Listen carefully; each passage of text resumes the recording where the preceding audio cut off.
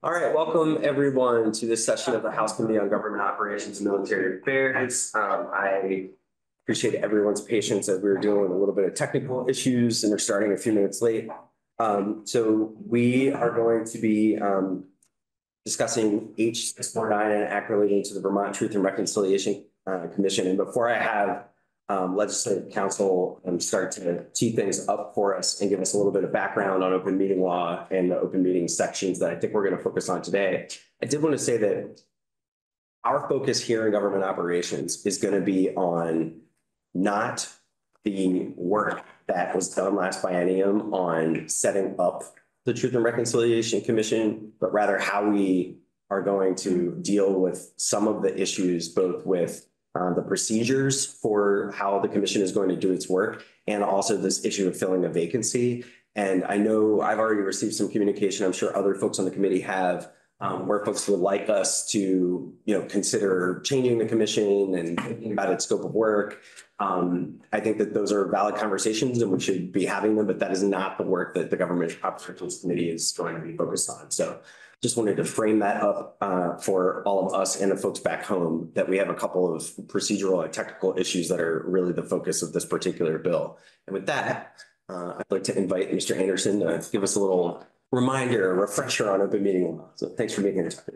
Good afternoon to the record, Tucker Anderson, Legislative Counsel. Wonderful to be back and to zoom out from the granular world of municipal charters into the broader world of a little bit of an overview and refresher for all of you. Uh, so we touched upon this at the beginning of last session, gave a little bit of a primer on the open meeting law and how it applies to the public bodies of the state.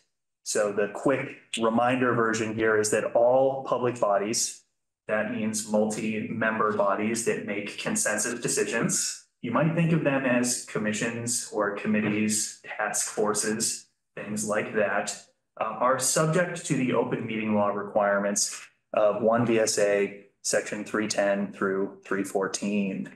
Um, any gathering of a quorum or more of members of that public body re requires compliance with the open meeting law and the procedures for meetings in the state. so what is a quorum? By default, it is a majority of the members of that public body. So whenever you have a majority of the members of a public body gathering to discuss the business of the public body, you have a meeting that is subject to the open meeting law. If this hasn't already started to tee up a little bit of a sensation of what the problem is here today, um, well, here's the spoiler for my fellow sci-fi nerds. This is a three-body problem in statute, when you create a public body that has three members, it is impossible for the members of that public body to have any discussion of their business without meeting legally under the open meeting law. So this has happened quite a few times in the past where public bodies are stuck in cones of silence because any communication concerning the business of their public body would trigger open meeting law requirements. Warnings, posting agendas, holding the meeting, recording minutes, and that is for any deliberative discussion of their work. Uh, the most recent example, besides this one, would be uh, the tax commission that was formed two biennia ago and that could only have conversations about their work in warned meetings that were held in this room. Representative Chase. Clarification, the, is the quorum of um, the total number of people that's supposed to be included, or the, does it include vacancies? Like, if you had a ten-person body and five vacancies, would a quorum be five people, or would a quorum be three people? It would be the quorum of the public body as it's established in statute. So it would be a quorum of ten. regardless of vacancies. Correct. Thank you.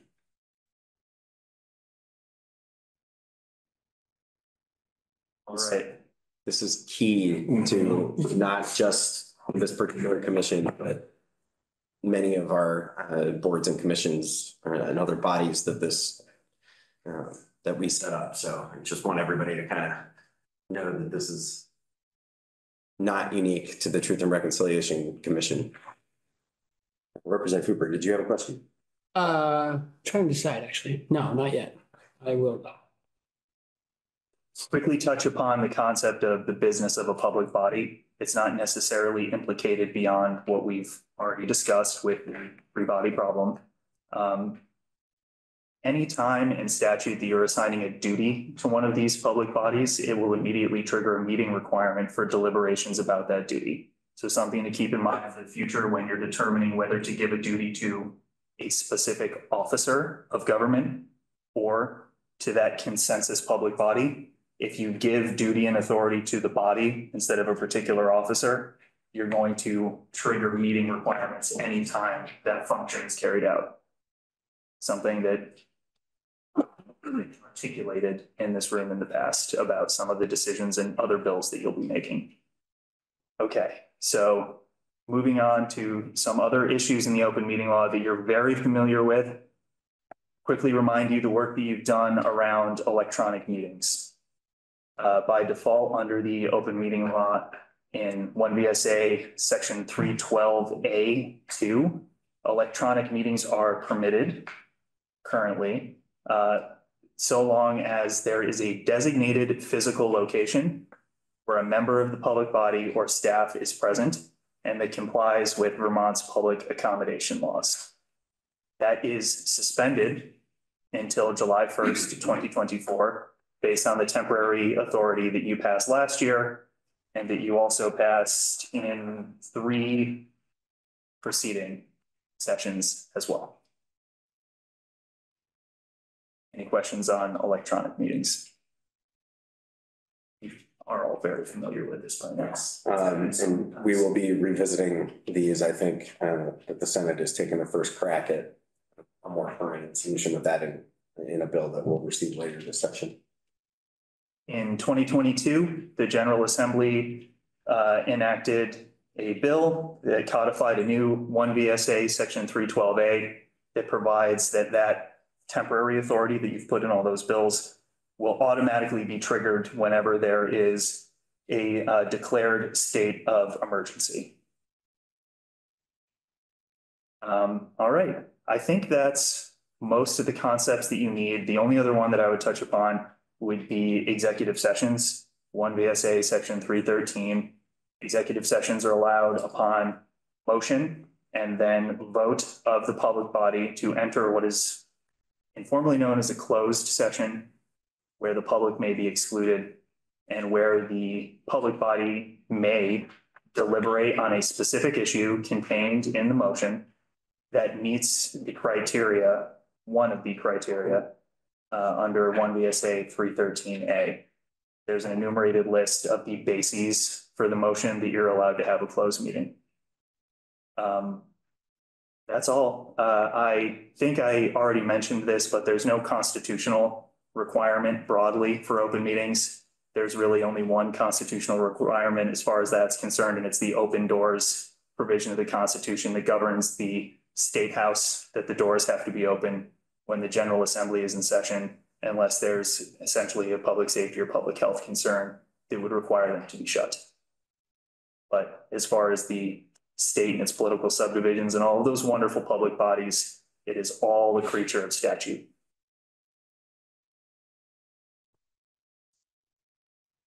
Don't feel the power broadly. All right, thank you very much, Tucker, for Thank you. well, teeing up those broad concepts for us.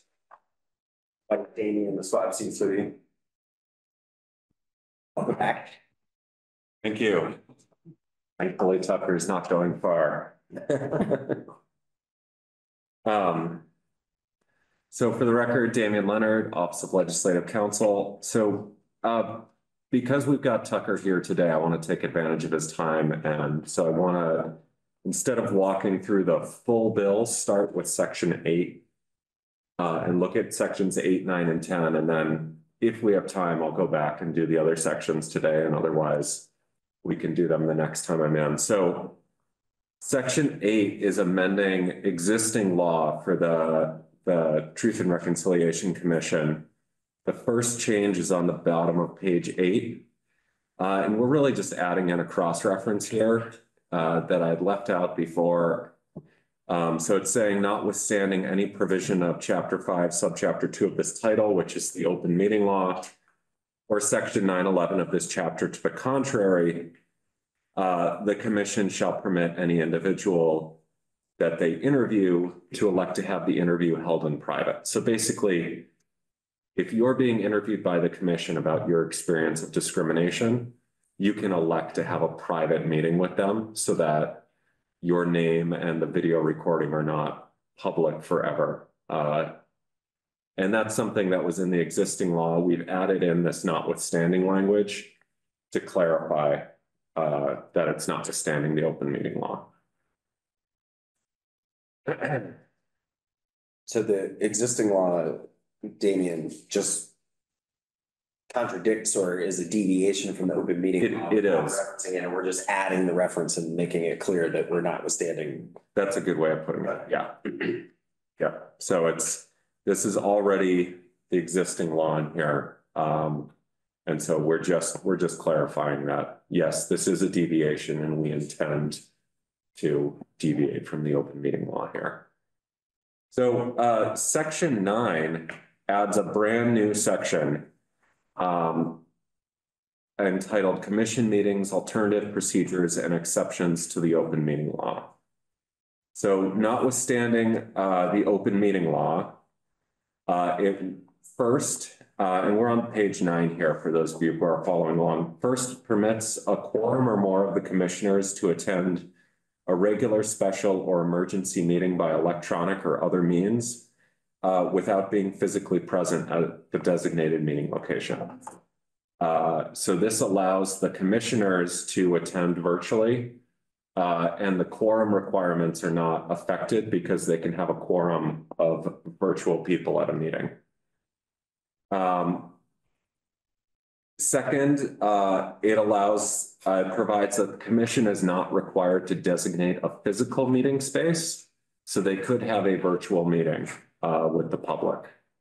Here, where they just set up a virtual meeting space. Uh, and then third, uh, the members and staff of the public body are not required to be physically present at a designated meeting location. Um, and so again, this allows them, uh, to have meetings remotely, uh, and to have meetings with people who are around the state. Uh, so you could have people attending from the Northeast Kingdom, um, from Brattleboro, Bennington, uh, and they can all meet virtually here.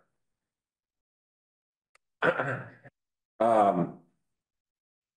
So B provides uh certain requirements for when the commission does meet electronically. Um, in order to ensure that there's public access. Uh, those requirements are listed at the top of page ten. The first is they have to use some sort of technology that permits the public to attend through electronic or other means. Uh, the second is they have to allow the public to access the meeting by telephone. The third is they have to video record and live stream the meeting. And the fourth is that they have to post the information that would enable the public to access the meeting. Uh, and include that information on the published agenda. So just like we do for our meetings here. Um, they're using technology that allows electronic attendance. They're allowing the public to call in. They're video recording and live streaming. Um, and they're posting the information on the agenda so people know where to go. Representative Hango. Thank you. Damien, posting any place physically or not? Uh, Tucker? Sorry, I'm It depends on what the public body is. Municipal public bodies are required in the open meeting law to post at the town clerk's office and in two designated physical locations. Under the suspension temporary authority concerning the open meeting law, it's allowed to be virtual locations. That's not included here. So. Because they're not a municipal public body, they're a state public body. So they don't have to have They a do not have to physical. have a physical location. Thank you. Thank you, Tucker. And just for framing. Is this largely the same as the temporary authority that we did in Act One last year? Or are there key deviations? It seems at first glance like this authorization. For the mission is really modeled on what we did in Act One. Is that? There's one addition here, and that's the requirement to video record and live stream, which is currently not expected of the temporary is to be. So it's verbatim what the temporary authority means, except there's the additional duty, you have to video record it. and live stream. And as it's structured here, th- this would just run, this authority would run contemporaneous with the authority of the Truth and Reconciliation Commission. So this is basically saying, even if that temporary authority from Act One goes away, this is the, these are the rules for the commission. That is correct. Yeah. Thanks. Other questions? Okay. Um, so subsection C just below that uh defines closed meeting as a meeting of the commission that's live streamed and video recorded, but that is otherwise closed for purposes of physical or digital access and participation of the public. So in other words, uh, there's a live stream of what's happening, there's a recording of what's happening, but members of the public can't just jump into the conversation. Um, similar to what we've done uh with some of the hearings here where uh you have to have an invitation to actually join the Zoom call that's participating in the meeting. But anyone from the public can watch the live stream on YouTube. Um, they just can't join into the conversation in the room. Uh, and then C two uh is another particular piece for the commission here. Uh, and I, defer to Tucker regarding whether we've used this language before. Um, but what this will do is upon a finding by the commission that there are material threats to the health or safety of the commission, its staff, witnesses, or invitees, the commission may hold a closed meeting. Uh, so in other words, a meeting where there's no physical or digital access for the public. Uh, and the commission may allow its staff, counsel, and any persons who are subject to the discussion or whose information is needed to access the closed meeting. So in other words, they can have an access controlled meeting uh, if there are threats to the health and safety of either the commission and staff or the people participating in the meeting.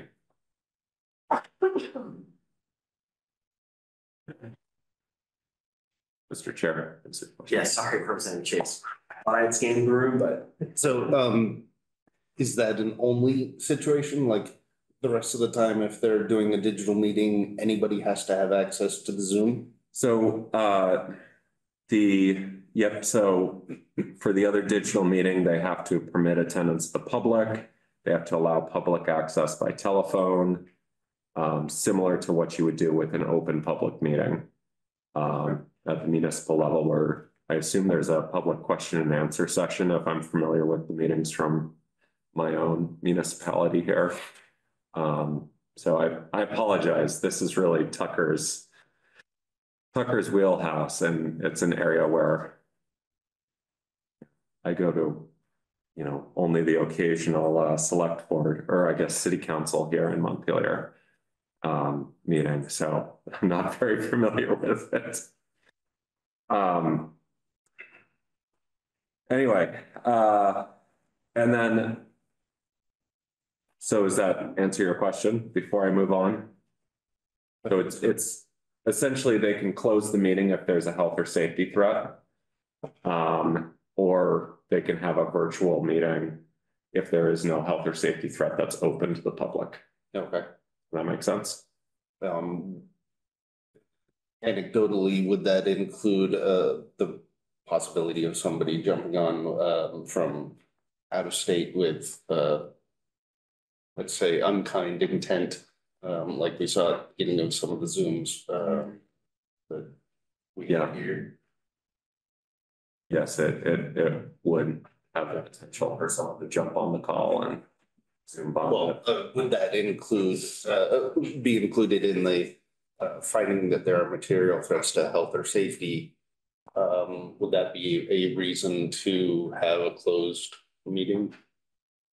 Or would that occurrence have to happen first and then, I, I think the commission has to make the finding, uh, first, the, let's see, um.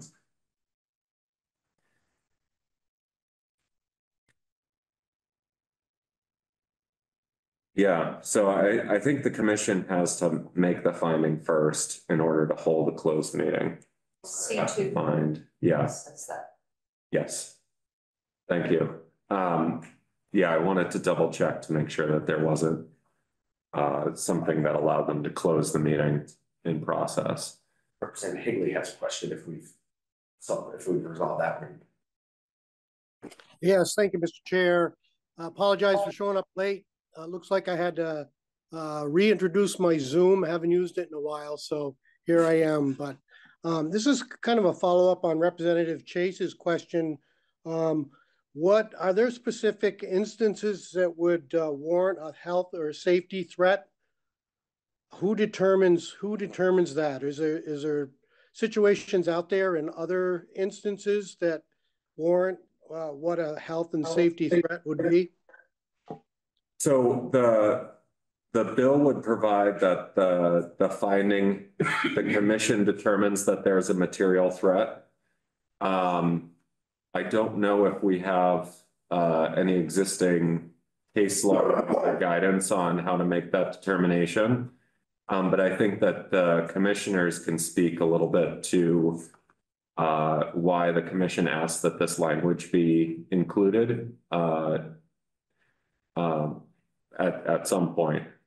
I just wanted to, while we're on this, um, just return and really underscore what the definition of closed is. This is not an executive session, right? We're talking about it being closed to people joining, for instance, Zoom, but it's still being live streamed. People are- can still be, Yeah, exactly. So if you think of this, so imagine this meeting if members of the public couldn't just walk through that door. Right now, this is essentially a closed meeting electronically because it's just people who have the secure link that's been set out for the Zoom. And so a general member of the public can't do like what happened at the beginning of COVID, where anyone could just sign on to the Zoom meeting. Uh, and so in this case, this is a closed meeting if the, if the public didn't just walk through that door. Um, and that's different from an executive session, where an executive session, no one from the public can view what's happening in the executive session. So, and this is actually, um, the, uh, it actually, if you get down to C three, it specifically addresses that the commission shall not be required to live stream or video record any portion of a closed meeting held in executive session. So it sort of distinguishes the two. So think of open meeting as anyone can come in off the street or from the um, from wherever they are in the world, if they, if they're coming in electronically and join the meeting. Closed meeting, it's just invited participants. Executive session, public can't view it at all. and in- in order to, and I'll give you representations, in order to go into executive session though, on record, make a finding that there's a cause for them to go into executive. session, Exactly. Just like any other public body. Yep. Okay. Representative Chase. and if, if person, they could have a closed Zoom, but because there's a physical location, that's a, would not count as closed meeting, That's right. like. The public can attend. Um, right.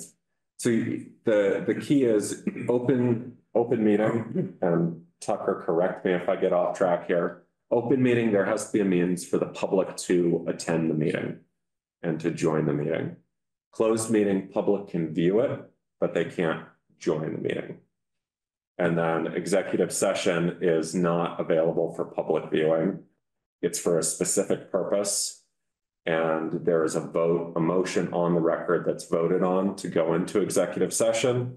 You discuss what you moved uh, the executive session for.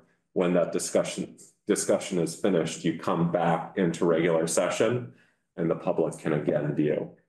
Um, so you, uh, some of you have probably experienced this where you'll go into executive session for anywhere from a couple minutes to an hour to discuss a topic. And then you come back and the public is again available. Sometimes there's a decision made that's announced or something like that, or you just move on to the next thing on the meeting agenda.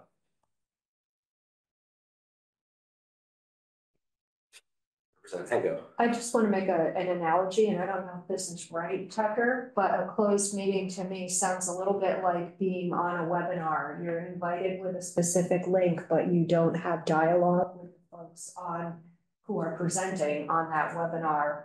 Um, but you're allowed to watch everything that's happening.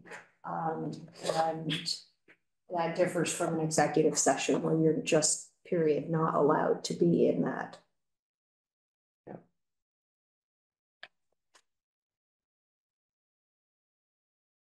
All right, I think we got this. Thank you. Great, no problem.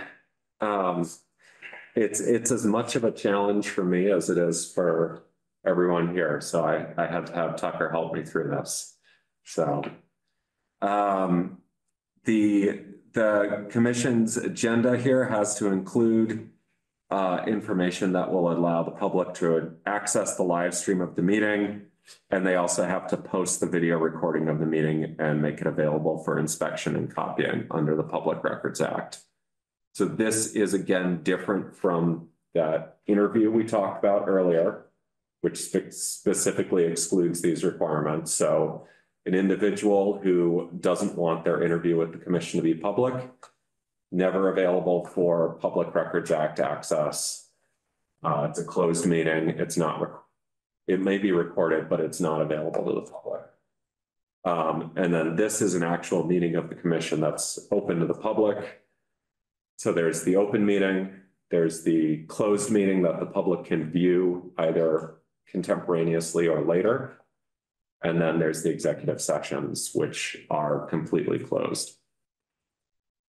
Um, the last piece of this, if you turn to page eleven, um, this addresses the issue of the commission being a three-member body. Um, and it, it provides that deliberations of a quorum or more of the members of the commission shall not be subject to the Vermont open meeting law. So in other words, the commission members could finally meet to discuss the business of the commission without having to notice a meeting uh, to Uh, meet, whether it's two of them or all three of them when a third commissioner is appointed. Representative Henk.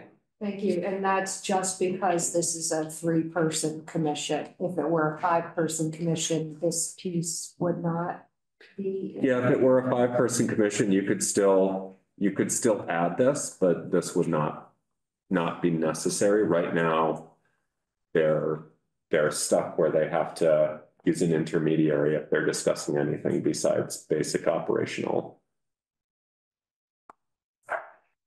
Has this language been used for others for member bodies? No.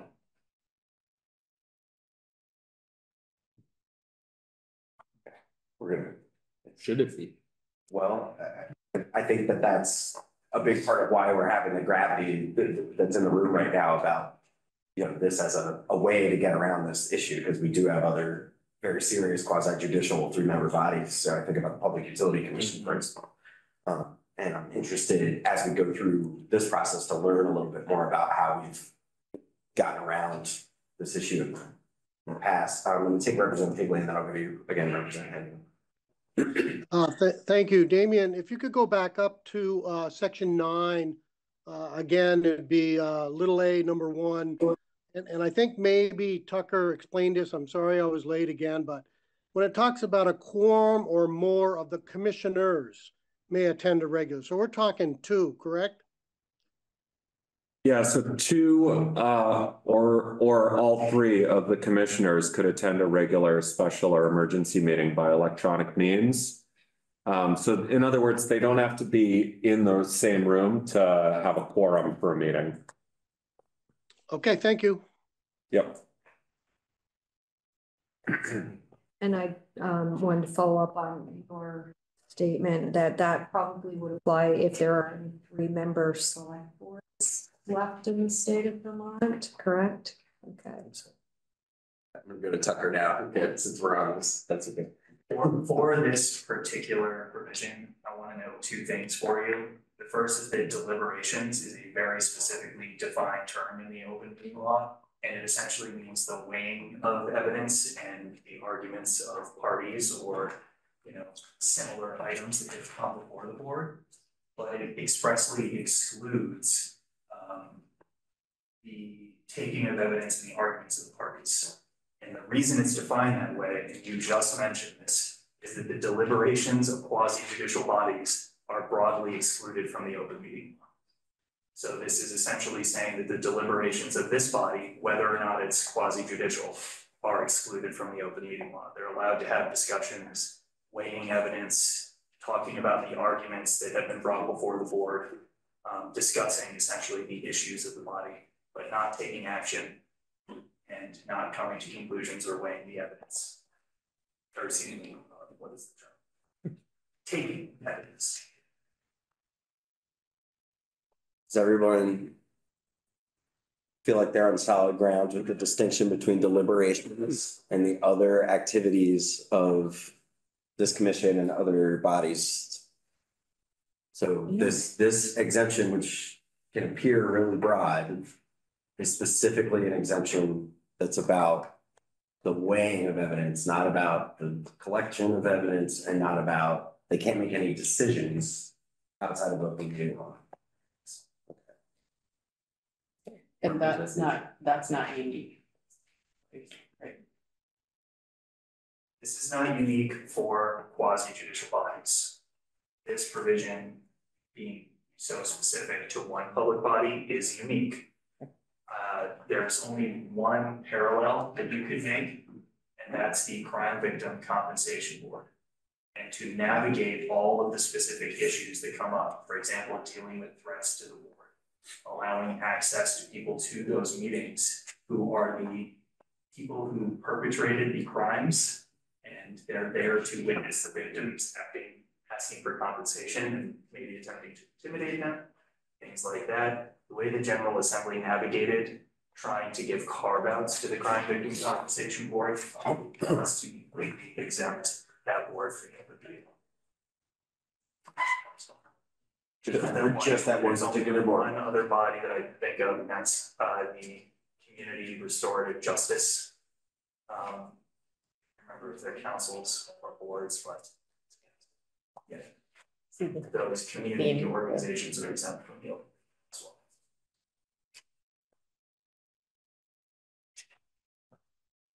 Okay, now, uh, Representative Boyd. Just a clarifying question, Tucker. Did you say they can or cannot come to a decision?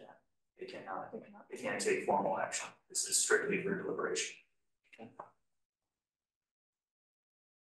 Okay, we're all gonna be thinking a lot about what deliberation means. Uh, I want everybody to put that in their pocket. This is not the first time, this is, this is not the last time this will come up in this committee this year. All right, let's keep going, Dean. Thank you. Okay, so that, that's it for section nine. Uh, which brings us to section ten, another brand new section under the Truth and Reconciliation Commission's uh, Enabling Act. And this uh, would create a new section nine twelve called Affinity Group Sections Duty of Confidentiality. Uh, and earlier in this bill, uh, we've created express authority for the commissioners to establish affinity groups for individuals uh, who have experienced discrimination as a result of a um, state law or state program or something like that uh, that they encounter. Um, but the affinity groups are not uh, necessarily are not necessarily run by the commission. They're something the commission can establish and it, uh, the commission can talk a little bit more about how they would work. Um, I sort of understand on a basic level. Um, but I think that they can give you a better understanding of how these would work. But the key thing here is this, it's an opportunity for individuals who have experienced some sort of discrimination uh, or hardship to share with other people who have experienced something similar. So obviously, some really personal information could come out. Uh, so uh, the first subsection, subsection A provides that the meetings and sessions of those groups shall be confidential and privileged. And that commission staff and participants shall be subject to a duty of confidentiality. And shall keep confidential any information that they learn during those sessions. Um. The next uh subsection there provides that a person who attended an affinity group session can bring a private action, a civil action in court for damages resulting from a breach of the duty of confidentiality. So in other words, if they are harmed because someone else reveals what they revealed during the affinity group session, uh, but reveals it publicly, uh, they can then seek damages and compensation for that harm. So this is similar to uh, if someone invades your privacy now, you could bring an invasion of privacy action in court. Um, or if someone slanders you or uh, something like that, you can bring an action for that harm that results from those statements. Uh, so this creates uh, an affirmative right of action in statute so that uh, there's, there's a clear tie to what happened in the affinity group. And then, um, subsection C simply provides that this doesn't otherwise limit or affect application of common law duties of confidentiality um, or any action that could be brought um, for breach of that duty. So this is basically saying we're creating an express right of action. We're not intending to limit people's ability to argue that other rights they would normally have uh, may have been breached. Um, so before I go to Representative Higley, uh, I want to flag and maybe our fabulous committee assistant can help remind me of this. Uh, I don't know that we're the best committee equipped to really evaluate this section. Um, I'd love to have House Judiciary at least do a drive-by. Um, if we move this forward and, and on section ten, because I, this right of action is probably, we're a little out over our skis, I think, getting too deep in the weeds on this, but. Right. Representative Higley, go ahead. Uh, thank you, Mr. Chair. Uh, my comments as well, um, whether judiciary or somebody else looks at this, I mean, who's the action being brought against? Who's gonna represent? Is it, is it, they're suing the state of Vermont? They're suing, uh, who, who are they suing and who's gonna represent? So I'll give you an example. Uh, an affinity group is uh, set up. Person A discloses something private during the affinity group session. Person B, uh, after the affinity group session decides for whatever reason that they're going to publish this information. They put it on Facebook. They put it in a magazine article, whatever it is. By publishing that information, person A who, who shared their story and has now had it splashed out in public experiences harm. They might, uh, could be something like the loss of a job. Uh, it could be other financial harm, reputational harm within their community. Now they've been outed as something that they was a deeply private family experience and it's been outed in the community. It affects their ability. Person A, who shared the information and has now been harmed because it was publicly disclosed outside the affinity group, can sue person B. Because person B is the person who committed that harm against them. This is the same as uh, if you have two people and uh, there is, there is privileged information and then the person who receives that information without getting permission shares it publicly and invades the privacy of the person who shared that information with them that was protected by the privilege. So right now, it's, it's the same thing as that, where it's, it's the, the person who disclosed it is subject to a potential lawsuit. And the person who is harmed by the disclosure, who shared the information in the first place can bring a potential lawsuit. So it's not the state of Vermont who's a defendant here, Uh, unless the I- if I state is the one who published it. Uh, yeah, if I could, if I could have a follow-up, uh, Damien. So what if it is one of the commissioners that releases that information that isn't, wasn't, wasn't, uh, supposed to be released? Would, would the state represent them or are they on their own? Uh, so that, that's a much, much more involved question. Um, because you're, you're getting into whether they. Whether the breach occurred, uh. In. In, uh, them carrying out their duties as a commissioner or whether it occurred outside of. Their duties as a commissioner. So it, it gets more complicated when you're talking about a state official um, whether it's a commissioner or a state, any state official who has access to confidential information breaching that duty. Um, the question is, did the breach occur while they were, uh, while they were, uh, carrying out their duties as a state official in good faith, or did it occur outside of sort of the scope of their duties as a state official. So it's, it's a little bit different question then. And if it's outside of the scope of their duties as a state official, the Attorney General's office, which would normally represent a state official, may argue that it, it, they didn't do this as a state official. They did it as a private individual, and we're not going to defend them. Um, and then there are, are a whole host of other pieces here that I, I don't pretend to be the best attorney in the office to answer things like qualified immunity and, and so forth for, uh, officials carrying out their duties. Um, and so I, I really don't want to get too deep here because I think I'm gonna end up saying something that's not quite right. But the baseline here is, is if it was a commissioner or a member of the commission staff that breached the confidentiality, the, the state would be looking at whether they did it within the scope of their duties and then making a determination at that point. So it's, it's a, that's a much more involved question. Okay, thank you for that, Damien. Yeah.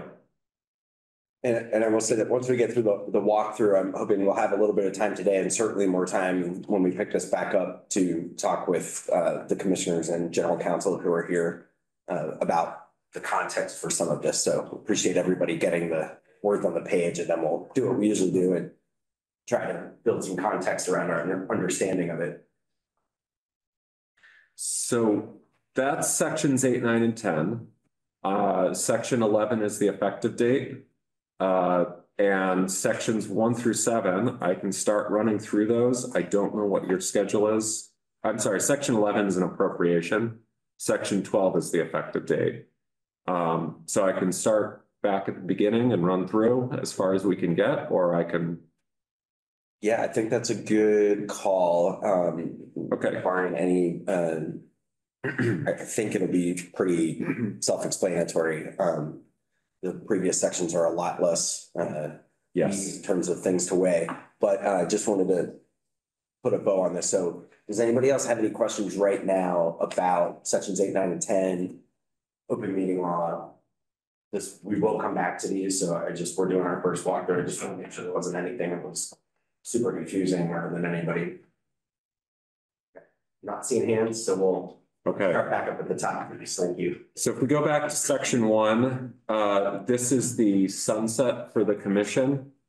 Uh, and what we're doing in this bill is we're pushing out all the dates for the commission by ten months. Uh, because the commission got established more slowly than the timeline that was set out in the original bill. Um, and so this is to give them sufficient time to do their work. So instead of, ceasing to exist on July 1, 2026, they would cease to exist on May 1, 2027, And you'll see this repeated over the next several pages. Um, section two, same thing, the term of each commissioner ends on May 1, 2027, when the commission ceases to exist. Section three gets to the issue that was brought up at our first discussion of this, where we created this selection panel to select the commissioners. And then, uh, as soon as they'd selected the commissioners, the panel ceased to exist. And now unfortunately, one of the commissioners has resigned, and so there's an open spot. So this would reconstitute a se- selection panel. Um, that would only be five members. Given the timeline, um, the way it's been drafted in this bill, uh, instead of having, uh, appointees select a panel of people who are not appointed by a state official, this is going back to more of a traditional state appointment process. So your selection panel would be the executive director of racial equity or designee, the executive director of the Center for Independent Living or designee, an individual, and then an individual appointed by the speaker, the committee on committees, both of whom shall not be current members of the General Assembly, and then an individual appointed by the Chief Justice of the Supreme Court. So the governor is not listed on here as uh, with an appointment power because the executive director of racial equity is the governor's appointee, so. Um, so that, that would be a five-person panel. You'll notice a lot of strike through on page three. That's getting rid of the process from before. Um. And then. Uh, going down to page four, we're striking out the ability of the selection panel to establish and maintain an office. Because we're not paying for an office that they would largely not use. Uh, and also to hire temporary staff. Um, again, uh, there's, because they're not doing a large search for the whole panel, we're uh, limiting them a little bit.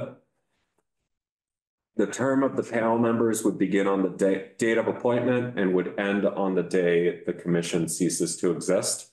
So this panel would be permanent. Important things to note, if someone steps down during that time, uh, if they're an appointee, we'll provide later on that the appointing authority will just appoint someone new.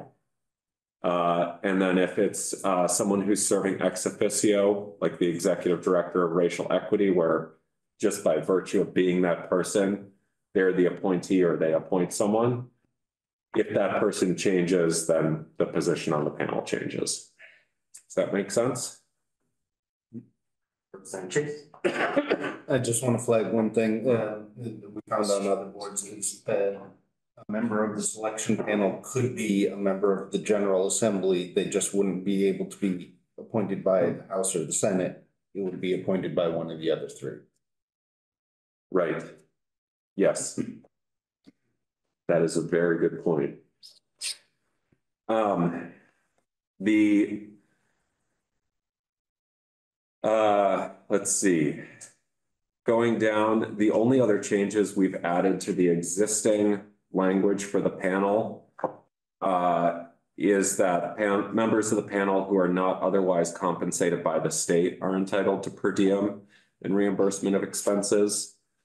Uh, the understanding being that at the very least, it's likely that at least uh one or two of the members will be compensated by the state, so. Um. And then the panel has administrative and legal assistance from the commission staff.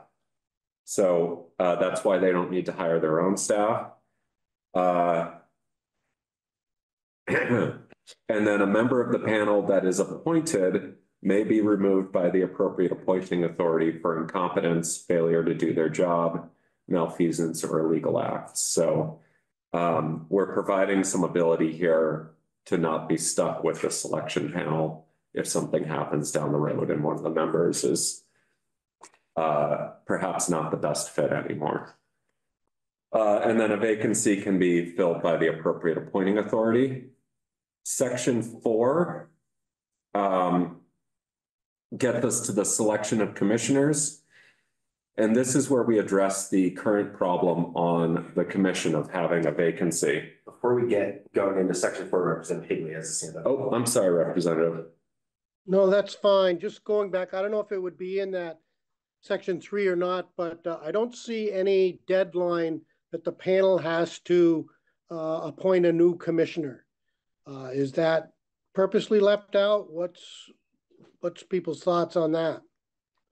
So that, that is left out in this draft, uh, in part because, uh, it's not clear when this bill will pass. Um, it does take effect on passage. Um, you could provide within, you know, sixty or ninety days, something like that. Um, but it, it is left out. Again, you know, like you say, we don't have a lot of time for discussion, but I think if we're talking about a time frame and this thing's moving on and we've already extended things ten months, you know, I would think there would have to be some sort of a time frame for that. If the commissioners can't work with two, they need three. There's gotta be a timeline for them to get it done. Thank you.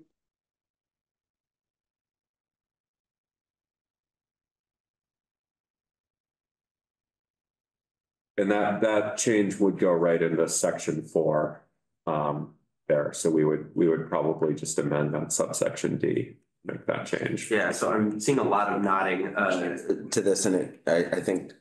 It seems fairly obvious uh now that Representative Higley's pointed it out, so do we um.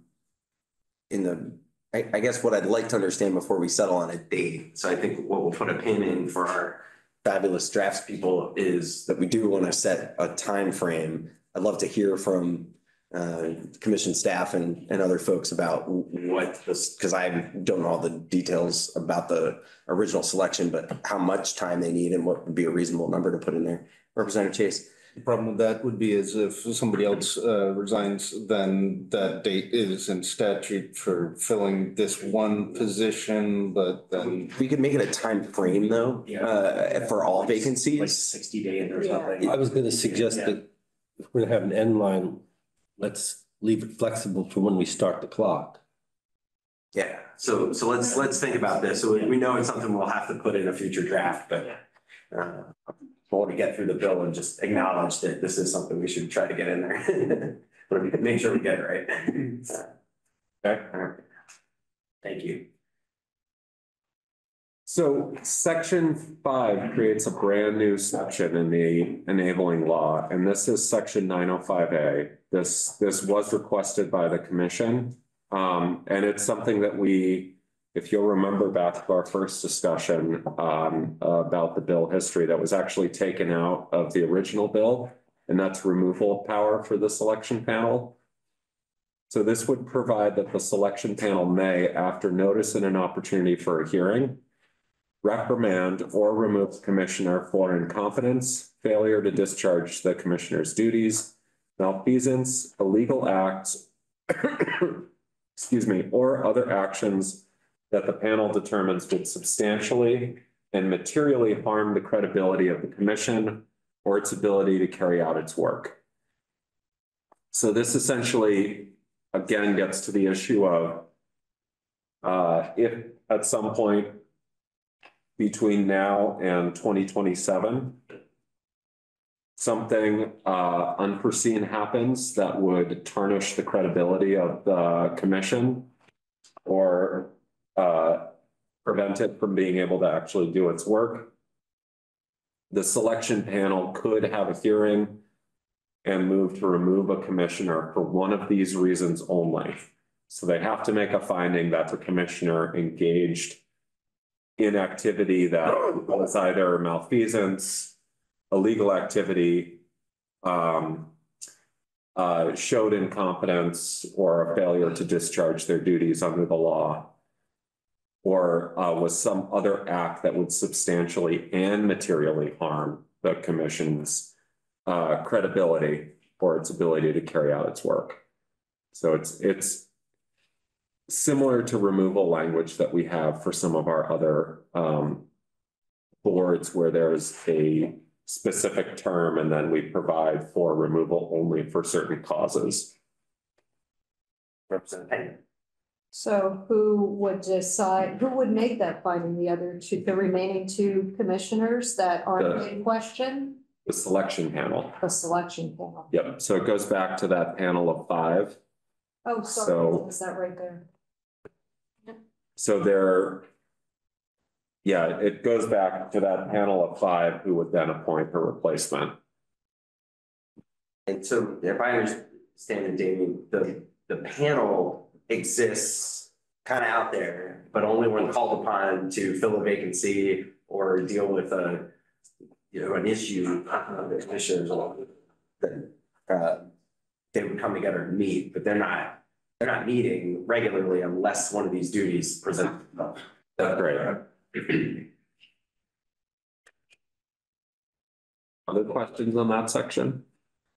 Um, just, just a quick one, thank you. So the selection panel, does that have to be a majority of the selection panel? Is that specified anywhere? Uh. It is not spec, it is actually specified here. Um, sorry, I was gonna say it's specified in the previous section, but it's actually specified in line eleven on page six. Reprimand or removal shall only be authorized by a majority vote.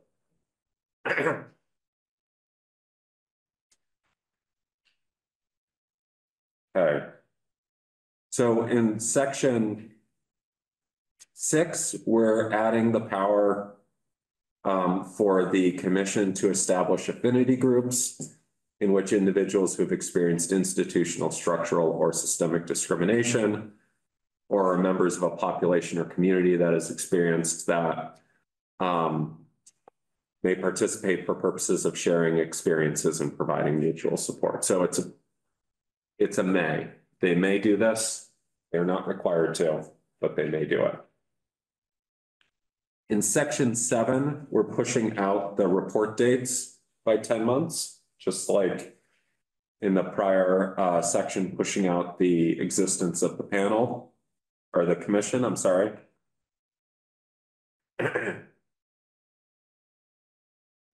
And section eight brings us back to where we were earlier.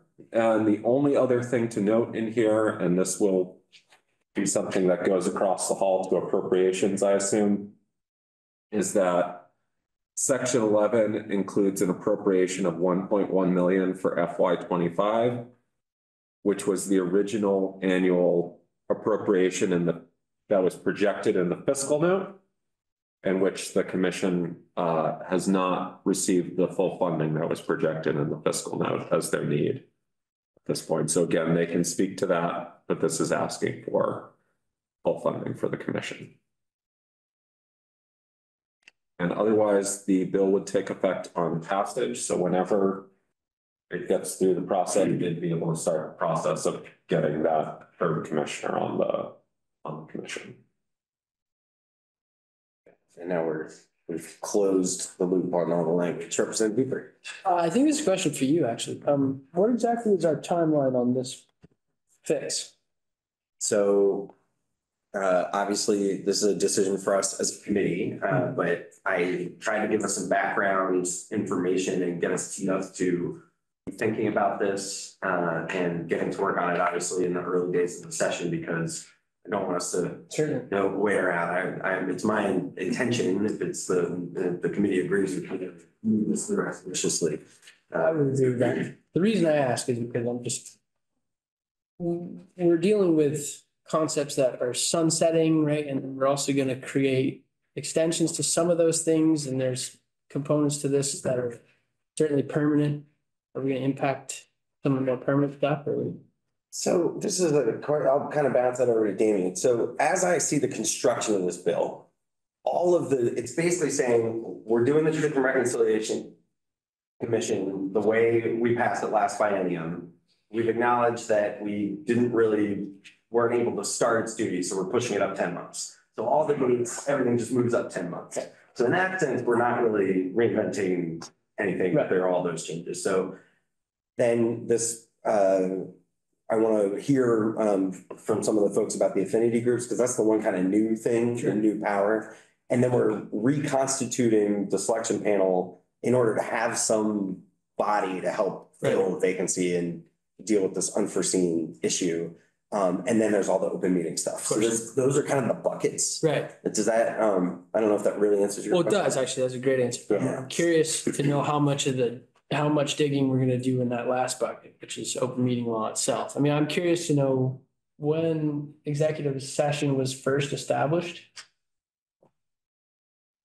Oh, God. If we're gonna talk about that stuff. So what I would say is that this is a, almost like a reverse echo of what we're gonna have to do when we look at all the open meeting and remote meeting authority, which I assume we will do in the content, context of S fifty-five. Okay. Um, and I will commit to the committee that if I'm wrong and we do not get a bill on this from the Senate this session, we will all get together and do a committee bill. I know all of, my, my committee is very, or my community is very interested in what is gonna happen after July first with this temporary open, you know, remote meeting authority, right? Yeah. So obviously, we're touching on some of the same concepts here, but, you know, we're, I don't think we're gonna solve all the problems. One of the things that made me feel a little more comfortable was I asked, is this modeled on what we did in Act One last year, where we did the temporary extension through this coming July of the remote meeting authority and open meeting law uh, that we had done during COVID? And Tucker basically said, with the addition of the requirements around video recording, yes, it's basically the same. So that kind of made me feel like we don't need to spend a whole lot of time on that here because that's already the temporary law for every other body uh, with that, you know, recording requirement. being- So it sounds to me like you're saying, if we don't satisfy my hopes and the committees for dealing with some of that more in-depth policy, we will. Yeah, and if we kind of get it a little bit wrong in some way that is unforeseen, as if we pass this bill quickly and we don't quite have the remote authority exactly how we want, when we get to doing the permanent adoption of the remote authority, we could try to harmonize everything. Um, and sort of say, you know, truth and rec, here's the rules, go do your work. But then you're gonna be subject to whatever the general laws that we pass, you know, unless we're notwithstanding and Sure. allowing there to be. So we are gonna have to harmonize any remote authority that's out there with whatever we, we pass in the future. But I think at this point, we just wanna like get past this particular thing where we set up a commission that now can't do its work because of some of these unforeseen issues. So those are great questions. Thank you. Representative Hancock? Thank you. I'm not sure who can answer this question out of anybody who's here. But during this time where we're kind of on pause because there are only two commissioners, what's happening with the commissioners' salaries right now? Are they being paid um during this time? Or, So I, I, I'll happy to let the commission speak for themselves, but my understanding is that their work is ongoing. And the commission and its staff are being paid. Um, but that they're just not able to have non-public meetings right now. That's, that's the issue, is that when they, when the two commissioners get together, it has to be a public meeting. Or they're, something like this, where they're attending another body's meeting. okay, that's good enough. Thank you. Representative Higley? Thank you, Mr. Chair. Yeah, quickly, uh, and maybe it's been said previously, but, uh, when did the commissioners actually get started? And when was the resignation of that one commissioner?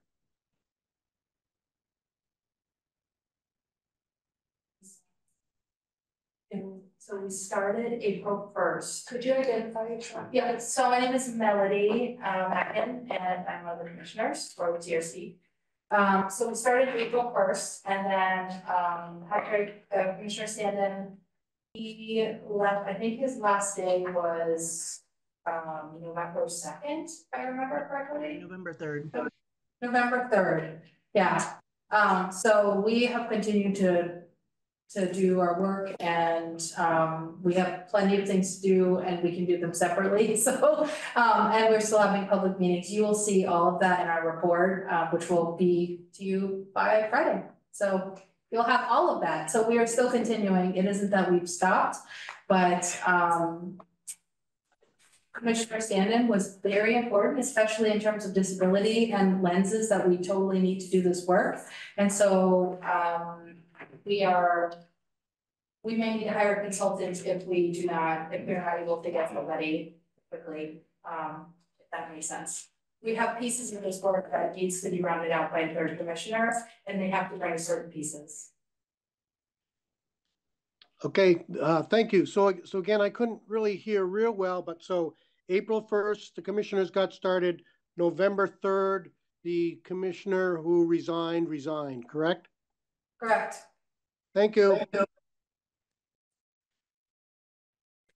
All right, so I think we've gotten through the words on the page. Um, so I um wanted to know if uh the general counsel, uh if the commissioners had um any either prepared testimony or whether you might be interested uh in taking a few questions to round out our understanding uh of how all this is gonna work. So I don't know if it would make sense um if if you all would, uh, whoever would like to, to testify, I'm willing to defer to you in terms of how, how you'd like to, um, engage with us and help us understand a little bit. I, I think in particular, um, it might be a good place to, um, to just talk generally, um, and then get into the affinity, um, groups and, and where that proposal's coming in, because that's one piece that's new, but, um, welcome, uh, Commissioner, and I know you have your general counsel here, so thank you for joining us. I'll let you introduce yourselves and then we can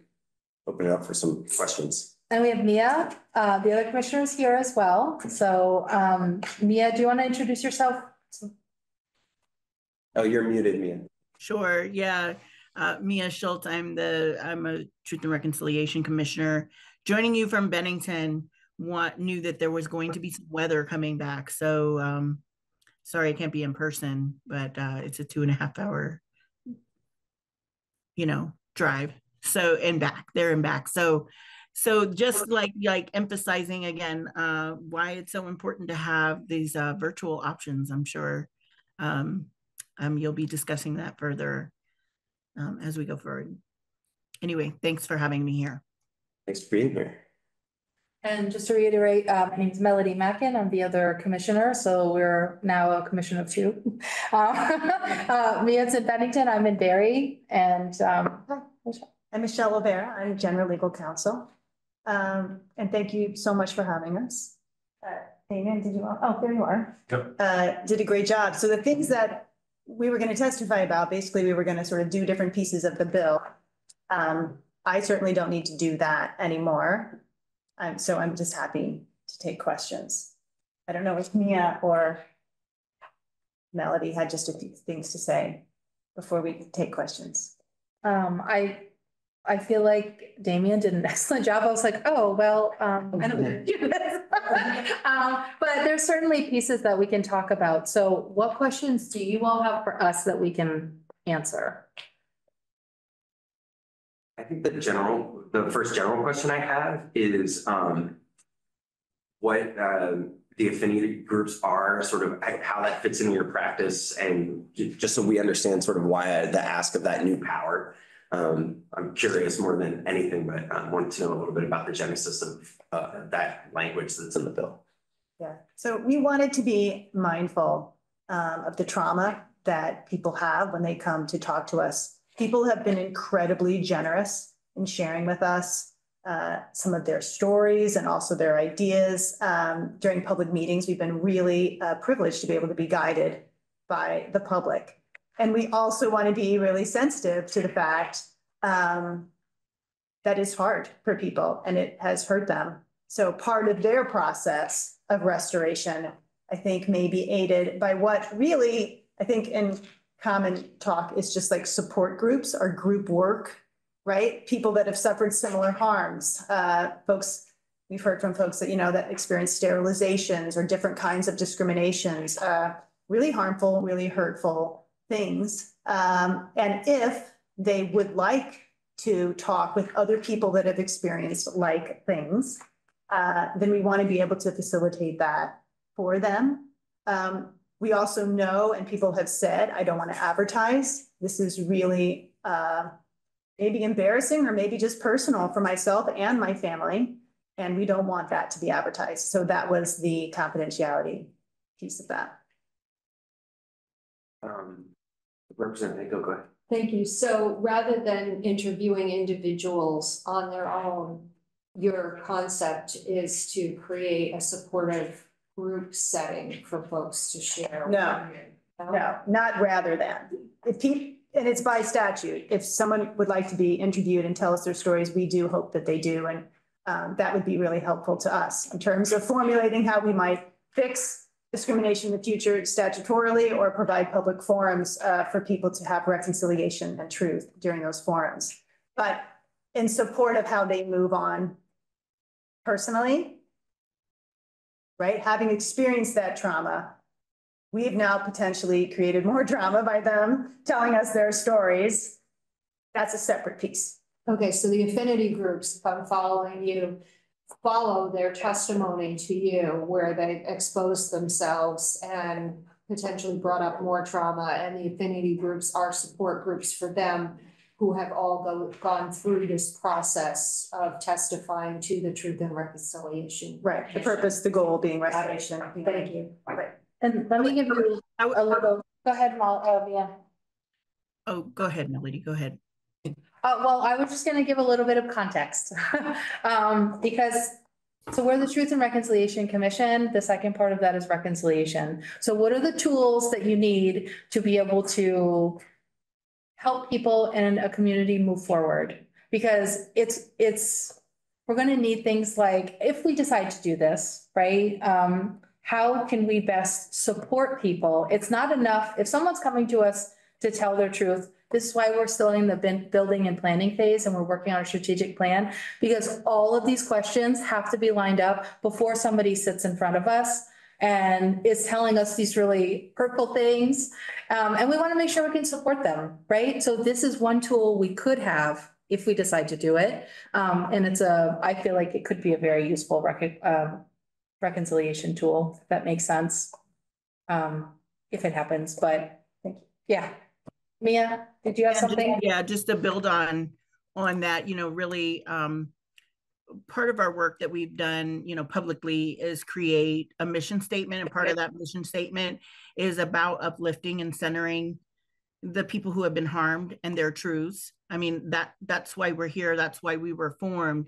And that is also part of the pathway towards our healing and our collective healing together uh, as, as, as a state and as these individuals, um, um, you know, decide or decide to tell their truths. And so you want to be able to offer as many options that feel comfortable and, and safe, quite frankly, uh, for those people. And affinity groups is, you know, one of the many options, as my colleagues have said, towards that mission of, of healing, quite frankly. And, and I would also say that, um, you know, just generally, uh, we want this to be, um, reparative for all of us.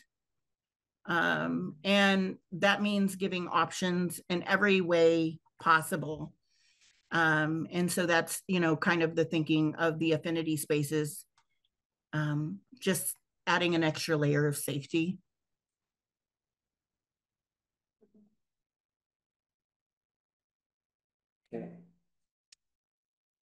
That really helped my understanding of what you're trying to get at and realizing, and David, I think did a good job of emphasizing it's a may, right? So it's giving you a power to, to set things up. Uh, Representative Higley, go ahead. Yeah, thank you, Mr. Chair. Uh, thank you, Commissioners. Um, I do have a, question. Um, I believe the wording initially, uh, in a sense, was, any group or individuals that have been adversely affected by Vermont's laws and policies.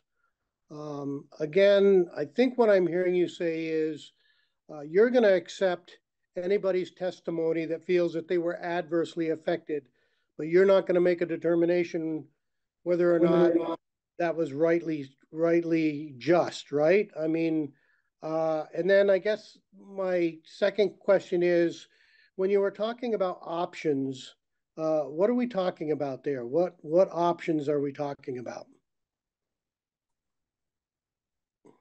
Well, like, the, on the first piece of it, you're asking about, um, whose, whose cases do we, uh, deliberate about? Um, and thus far, when we presented some emblematic cases at our emblematic case meetings, uh, we first, uh, the commissioners vote on whether that is uh, discrimination under the statute, whether they fall in one of those groups or another group that uh, the commissioners want to put into their purview. Um, so that's one. Two, we do not, uh, we are not a body where there's hearings on each case to decide uh, who was wrong, like who was the person that committed that wrong, what should happen to them in terms of punishment. That's not what we're about. We're not, yeah, we're not modeled on that sort of hearing and uh, decision-making type body.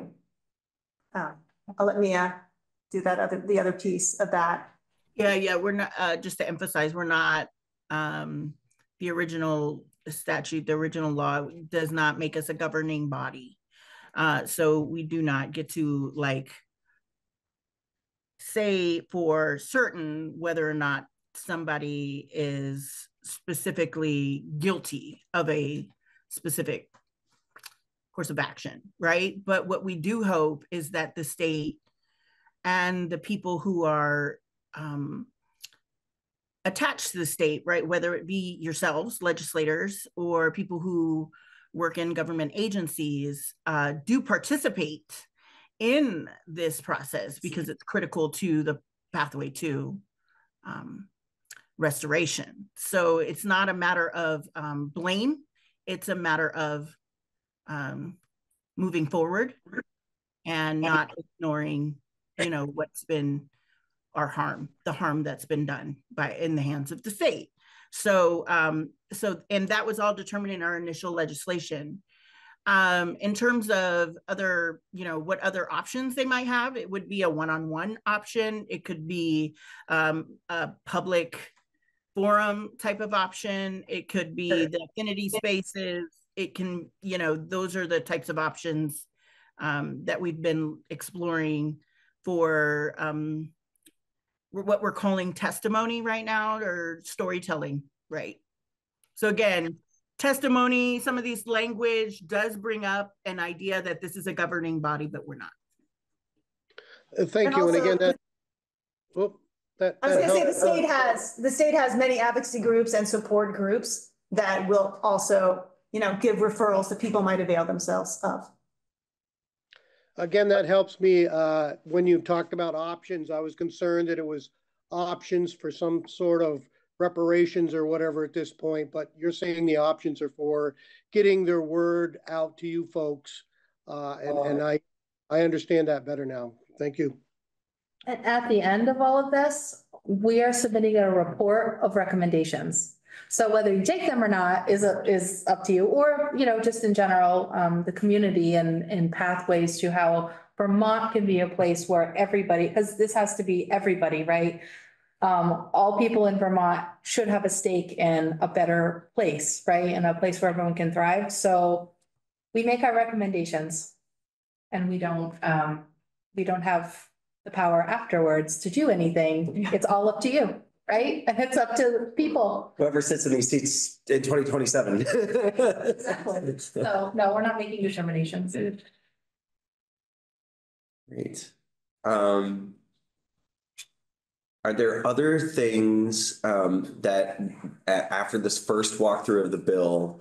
Um, that we should be thinking about in particular that you wanted to highlight? Is there anything that we should particularly focus on as we look to go from this draft to something that we can get out of our committee? This may, um, this will certainly have uh at least a stop at appropriations um if we pass it in anything like the draft form, so it's got a other other folks that I'm. Maybe this, maybe Yeah, this is a faux pas, but I wanted to ask you all, just like, there was a mention about the budget and that is in, um, in the, um, the proposed legislation about the one point one million. Um, that was initially allotted to us in our original legislation. Uh, but we did not receive that amount. Um, that basically covers our staff's, um, um, salaries. Um, we had to get some computers, we had to get set up an office, you know, we have those expenses, but, um, so we're asking for the original amount back that we were initially legislated. That's And, right. and Commissioner, if I understand this right, this is, this, as it's written, it's fiscal year twenty-five. Right. Um, so, okay. Yep. Um, So, Bless you. well, that, that's more of a question for our colleagues across the hall in the appropriations committee. But I think the signal that we would be giving is that from a policy perspective, you know, we support the work of the commission if we pass anything like this draft bill. Um, and of course, would want you to have the resources that you need. I guess my question is, in the current appropriations process, have you, um, what, what, what was the determination that was made? What, what were you budgeted if you have that information handy? Um, I- yeah, I did ask, um, the original was seven hundred and forty-eight thousand is what we were budgeted, where we're given when we started. Or that's what we have now, this year, Okay, so it's, so the fiscal year this, this fiscal year. twenty-four that we're in right now. Yep. And so the ask for fiscal year twenty-five, which starts July first, is the one point one. Yes. yes. Okay. Thanks. Fiscal years, uh, we don't, we don't talk about that a ton over in the side of the hall. uh, But thanks for clearing that up, Commissioner. Yeah, we definitely don't want to start to play appropriations committee over here in GovOps. I've tried to keep the firewall as uh, tight as possible. We tell them what we think is important and they figure out how to divvy up the money. Um, great, well, we've hit the two thirty mark. Um, uh, we do have one open slot on our schedule later in this week. And so um, I'll be conferring with folks offline about when we pick this back up again, but it could be as early as Thursday afternoon, just to um, set some expectations, but I really appreciate everybody's thoughtful questions on this today. And for all of you being here and Commissioner Schultz, no apologies if you don't want to make the drive all the way up here. This virtual option works great. Um, happy to have you that way. Um, Let me know if you need any more, uh, reinforcement on that, right? Bennington, it's hard living in Bennington, I'll tell you.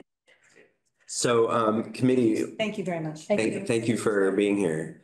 Um, so we're gonna, uh, just take a short break. We will come back on at two forty-five. Um, I, in the spirit of trying to both hear bill introductions from things we didn't get to hear last year and also try to keep some things topically relevant. I've asked, uh, Representative Stebbins to present, uh, her ideas from, uh, H one ninety-four. So we'll pick, uh, add that up with a quick, just bill introduction, um, because it has to do with some of the, um, areas that we're talking about with government accountability that we're going to hear from at three. So we'll be back at two forty-five.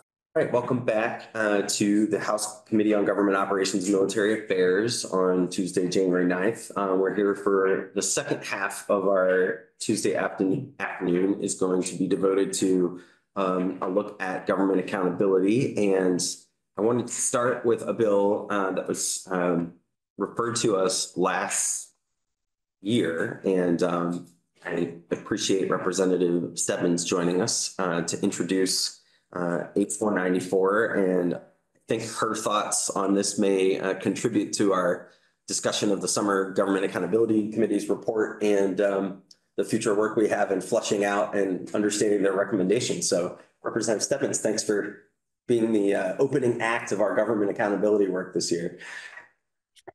Thank you, Chair McCarthy. Uh, and for the record, uh, I'm Gabrielle Stebbins. I'm a representative serving the south end of Burlington. Uh, and my day job, when not a state rep, uh, is I manage a lot of projects and programs, and I do a lot of evaluation of how states are doing with various energy uh, programs. So across the 50 states, looking at how different uh, different groups of people are rolling out programs that state legislators give them. So first of all, thank you so much. Um, uh, you know, when I was first elected back in 2021, I uh, co-sponsored a bill that actually called for a working group to look at what we should do. So thank you very much for having that working group last summer. Um, if you notice, H194 is a short form bill. Uh, basically, I, you know, after working on the we should have a working group concept, uh, I stepped back and I said, you know, there really just needs to be committee discussion and testimony and a lot more uh, weigh in from folks who audit programs and evaluate policies to see how they're working. Uh, so that's why it's a short form bill. But in the event you haven't read it recently, I'll just read it to you quickly. The bill proposes to create the Legislative Office of Government Accountability and Strategic Planning in the legislative branch to assist the General Assembly in one, monitoring and improving the performance of state government. Two, evaluating the operations and efficacy of state agencies, departments, and programs. Three, developing strategies to harness Vermont's strengths through prioritized investments in individuals and businesses, the economy, the natural environment, and infrastructure. Four, assessing the extent to which state government is sufficiently and appropriately staffed to meet its obligations. And five, ensuring that public funds are being used appropriately and in the manner for which they were appropriated or otherwise allocated. So I, I know you're going to get a rundown in a moment from the summer group. Um, I'm really grateful for their work. They have a lot of recommendations, including some like duh recommendations. Like it would be great if we got some reports back more like November 15th so we could implement them into bill making uh, and sponsoring. Um, I, I want to just set the table a little bit though, which is I really don't see this as uh, a party-based bill. Uh, you know, the founders of our government proposed three branches of government, and they thought they should be equal: uh, executive, judicial, and the legislature. Uh, we don't have that in Vermont. We have a citizen-based legislature. Uh, we're part-time, we're seasonal, we don't have staff. And two of the elements that came through uh, when I read the summer study working group, one was 80% of the rest of the US states have some form of tracking back to legislators to tell them, hey, you know, that bill you passed really isn't serving your constituents. Or, you know what, this bill could be improved this way. Or maybe you should pour more money into this program and less money into this program. So 80% other states have this. And on top of the fact that we're citizen based, we're part time, seasonal, uh, with no staff, we, we also have um, the third smallest uh, legislative counsel office. So we're really trying to do a lot um, within, you know, uh, uh a, a certain box. And as a project manager, um, I don't know if you guys have seen, there's there's this triangle where you can either increase how much money you spend or reduce how much time. It's it's basically cost, time, uh, or quality. And if you put tons of money at something, then you can get it done really fast and you can get it done really well. If you don't put much money at something, then maybe um, you know maybe it's not done on time and it's done really well, or maybe it's not done very well, but it's done on time. And the point to all of this is how do we know if we're serving Vermonters if we don't know what the impacts of our laws and the implementation of those programs, what those impacts are? How do we know? And uh, I, they're not all 13 of us, um, but I, although we probably some of us disagree on what the role of government should be or the size of government and how much money we should put to state government. I'm fairly certain we all ran because we wanted to make Vermont a better place according to what we think for Vermonters, if it's our friends or our neighbors or our vets or whomever. So I really hope, and I'm so grateful that you're picking up this bill. Um, I don't, I don't know how we improve upon our work if we are not tracking the data and coordinating across agencies and assessing what's working and what's not. Um, just see if there's anything else I wanted to say. Uh, I guess the, the other major piece that I, I wanted to say is the, the challenge here is cost, right? Like how much do you put into um, assessing how we're performing? Uh, and you know, there's there's a saying in the data world, junk in, junk out. If you put in junk data, you're going to get junk data out. So the other piece is how do you ask the right questions to figure out you're going to to make sure you're getting the answers back that you really want, um, so that then you can make the informed choice as to how to move forward. Do you change a law? Do you change a program? Do you get rid of a program?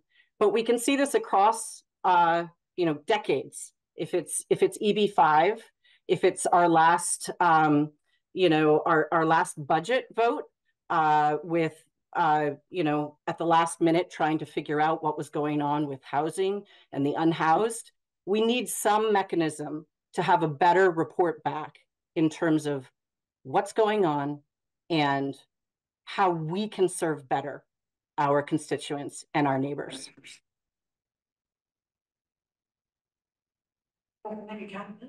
Yeah, so uh, I, I am, I want to recognize that our uh, House co-chair of the Summer Government Accountability Committee has just joined us, Representative Stebbins, and was, was saying, yes, that's what we're talking about. That's government accountability. Um, so uh, we are hearing, uh, I wanted to give Representative Stebbins um, the, the opportunity to introduce H one ninety-four, her short form bill, which was about uh, government accountability and throw a couple of um, the ideas and principles on the table from uh, some of the work that she does uh, in as a prelude to our hearing the report of the Summer Government Accountability Committee. Um, anybody have any questions for Representative Stebbins, Representative Hooper, and then Waters Evans? Thank you, Mr. Chair. Um, Representative, I do beg your pardon if you mentioned this in your overview of the policy of the bill you put before us, but regarding the history of the planning office in Vermont, you know, this isn't a new idea, right? This used to exist. From what years did it? For how long and why did we scrap it? Well, it was actually one of my constituents, uh, Governor Howard Dean, uh, who uh, got rid of the uh, government planning office. So I believe that was in the 80s. Um, and I think it was around, I, it was not around for long. Um, and so, you know, I mentioned one of the questions of like the cost. Uh, how much money do you put into assessing an evaluation? Um, another question is where does it sit? You know, does it sit under the executive branch? Um, in, you know, in my proposal, or rather in the bill that I co-sponsored in 2021, it was a new planning office. And one of the questions was, we don't know where it should sit. Uh, in H194, I put it, you know, clearly, I'm, I'm suggesting clearly that it report to the legislature um, because, you know, after two and a half years under my belt, I was like, I, I know that I voted on all these things and I don't, unless I like dig through the websites or know who to ask for a report, um, then I may not know how whatever I voted on in 2021 has evolved. So um, it was a while ago. It was in the 80s, uh, and Governor Dean got rid of it. I did ask him why about a year and a half ago, but I can't remember his answer. Wonder if we could get him to come in and testify. Ooh. He might not support going back. Thanks, Representative Hooper. We didn't have the tools we have today, but to really look back and um, collect data in the same way. Um, Representative Waters Evans. Thank you. I'm wondering, um, so there's the summer uh government accountability committee, and it seems like um. I'm I'm wondering if there's sort of piecemeal other groups, committees, organizations, maybe even not associated with. Uh, the legislature or, you know, the executive branch, but like a nonprofit or something that's, are there any other kind of piecemeal organizations or committees that are doing this work somewhat already that could be so I guess my follow-up would be, is there a way to combine them or get them to work together? Or is that just a, a, a puzzle that's too big to put together? Well, I think this, uh, a few answers. One, it sort of depends on what you're trying to look at. Yeah. Um, like, for example, there are nonprofits that will dig into certain policy areas to see whether or not we are achieving um, the mandates that we've put into law. So I would say that that's a, a form of accountability, um, but that's probably specific to you know child welfare or to clean energy policy or whatnot. Um, then we have other areas. You know, I, I served on House trans- transportation my first two years, and the amount of dashboards and reporting and planning that they have to do for federal grants, et cetera. They do so much of it. But is it, and, and this is again where there's a bit of a rub. Um, I said cost and I said, who does the accountability report to? The, another rub is, um, you know, how do you make sure you're asking the questions that are going to give you the answers that are actionable? Because we can ask a lot of questions but if you're not actually asking the right questions, then you've got a whole lot of data that you don't know whether or not, you know, a certain policy is working. So that's another piece that I think as you guys take this testimony and as you weigh through this, a key question, and it's probably great for, um, uh, you know, the co-chair who just walked in and is going to present on her work this summer. A key question is how do you how do you provide enough specificity, but then also flexibility so that as things change, our data collection, our evaluation approach can change. Um, ideally, we would have some form of higher level, ongoing sort of report cards at a frequent pace so that we can see the change. And then, you know, we also have the opportunity to do a much deeper dive into specific programs or policy areas. Um, so, but ideally, we would get that sort of ongoing dashboard tracker to see whether or not the work we're doing, the bills we're passing, the um, programs that we're asking the executive branch to implement, whether or not they're having the impact that we are striving for. Um, so yes, long story short, Representative, there are many groups doing many of this, which is why uh, you know, um, one of the key areas here is coordination. Um, you know, that the H194 as drafted and uh, your next, next witness, it's more specific to reporting to the legislature and providing the legislature uh, the tools to assess accountability, um, which is a little different than whether or not you're trying to assess like if you're the Secretary of Transportation, whether or not you're trying to assess whether or not you've, you know, met certain metrics. So that's another piece with the the data and the evaluation that can vary depending on who's doing it. So now that we have both of our co-chairs here, I, I want to pause uh, here on one ninety-four and thank Representative Stebbins for uh, teeing that up and her patience with us getting around to this. And I hope that you feel better. So I want to hear Thank from you. our summer government accountability committee. So thanks for being with us, Gabrielle. I Appreciate being here. Thanks so much, Chair, and thanks everybody. Thank you. Um, so I, would you like to come together, Senator Brock and Representative Brumsted, please uh join us. We're anxious to hear the the report out from your committee's work over the summer. Gonna be, uh, Representative Stebbins is gonna stay, stay out. She can hear. Thanks. I am. I, I also just wanted, I apologize as they're taking a seat. I wanted to say one last thing, which is this is sort of basic good business, is just being as efficient as we can with our scarce dollars. So hoping that we can really find a path forward. Me too. Well, welcome Senator Brock and Representative Brumsted. If you'd like to introduce yourselves and uh tell us about your work over the summer. Let me start. I'm uh, Randy Brock. Uh, I represent Franklin County and part of Grand Isle County in the Senate and I'm the Senate Minority Leader. And I'm Jessica Brum, uh, Representative Brumsted, and I represent Shelburne and St. George. And I'm in the co-chair of the House Human Services Committee. Thanks for being here. And we spent uh, the better part of our summer on one particular project that I think is close and it becomes closer to our hearts. And I think it's a project that, that's important for the General Assembly as well. That is on the issue of accountability. Uh, You'll remember that we had a government accountability committee that uh, uh, we put to rest uh, in the last session.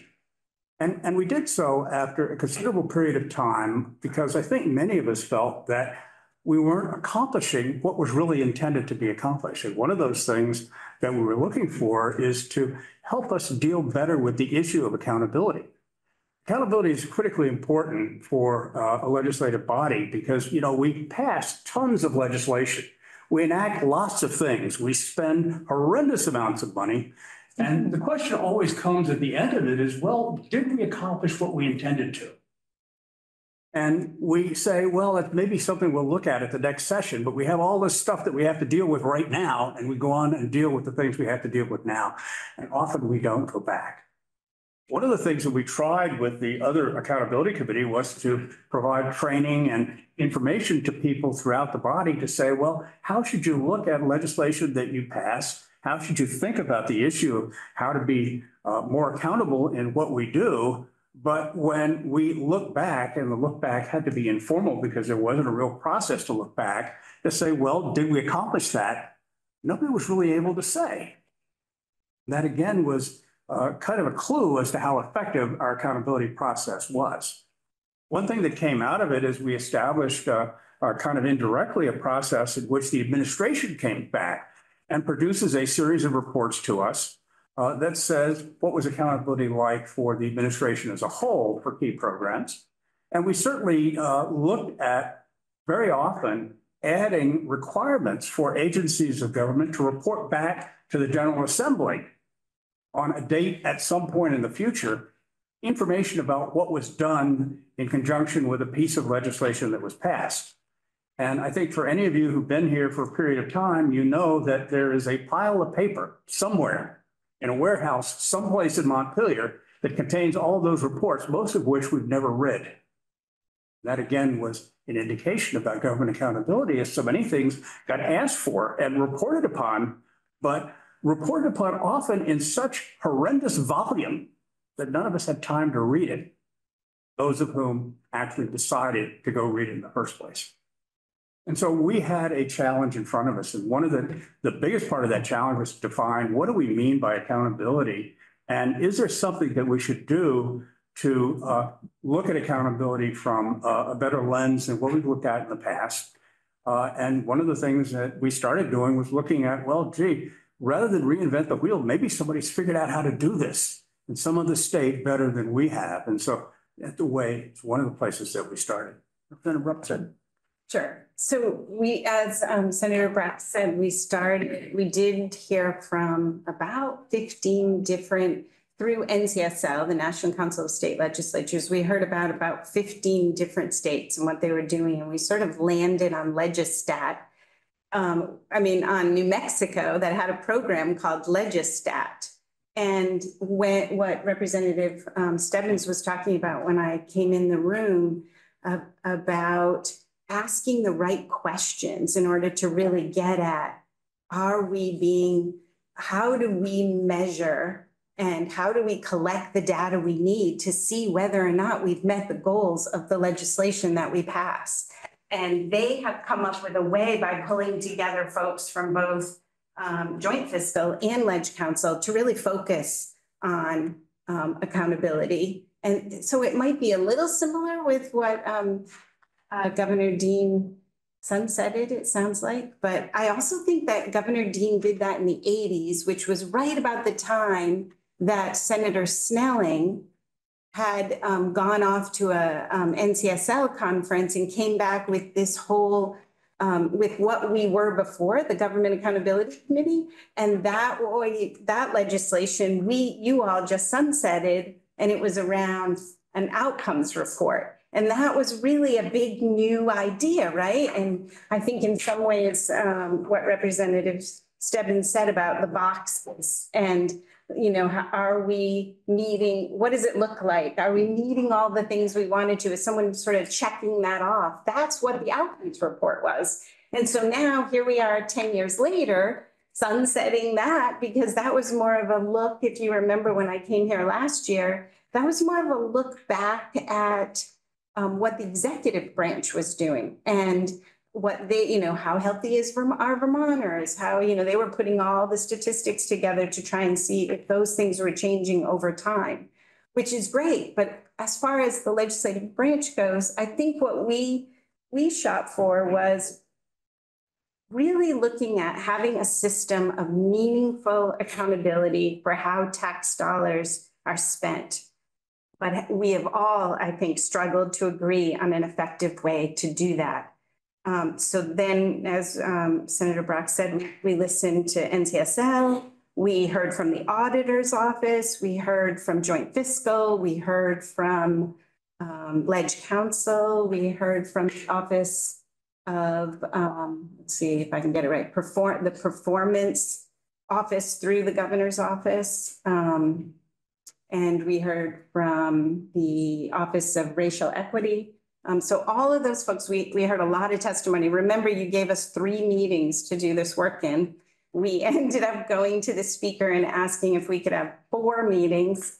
And we didn't, we did get our four meetings, but we didn't get to the second half or the, you know, quite a bit of that, maybe even the second three quarters of the questions. We had, we really tried to stick to government accountability and oversight and look very closely at that. So we came up with some 11 common sense recommendations, allowing the legislatures and the public to keep track of what happens after a law is passed, how new legislation is implemented, how and when dollars are appropriated through budget process as expended. We, oh, the other folks we talked to was LCAR.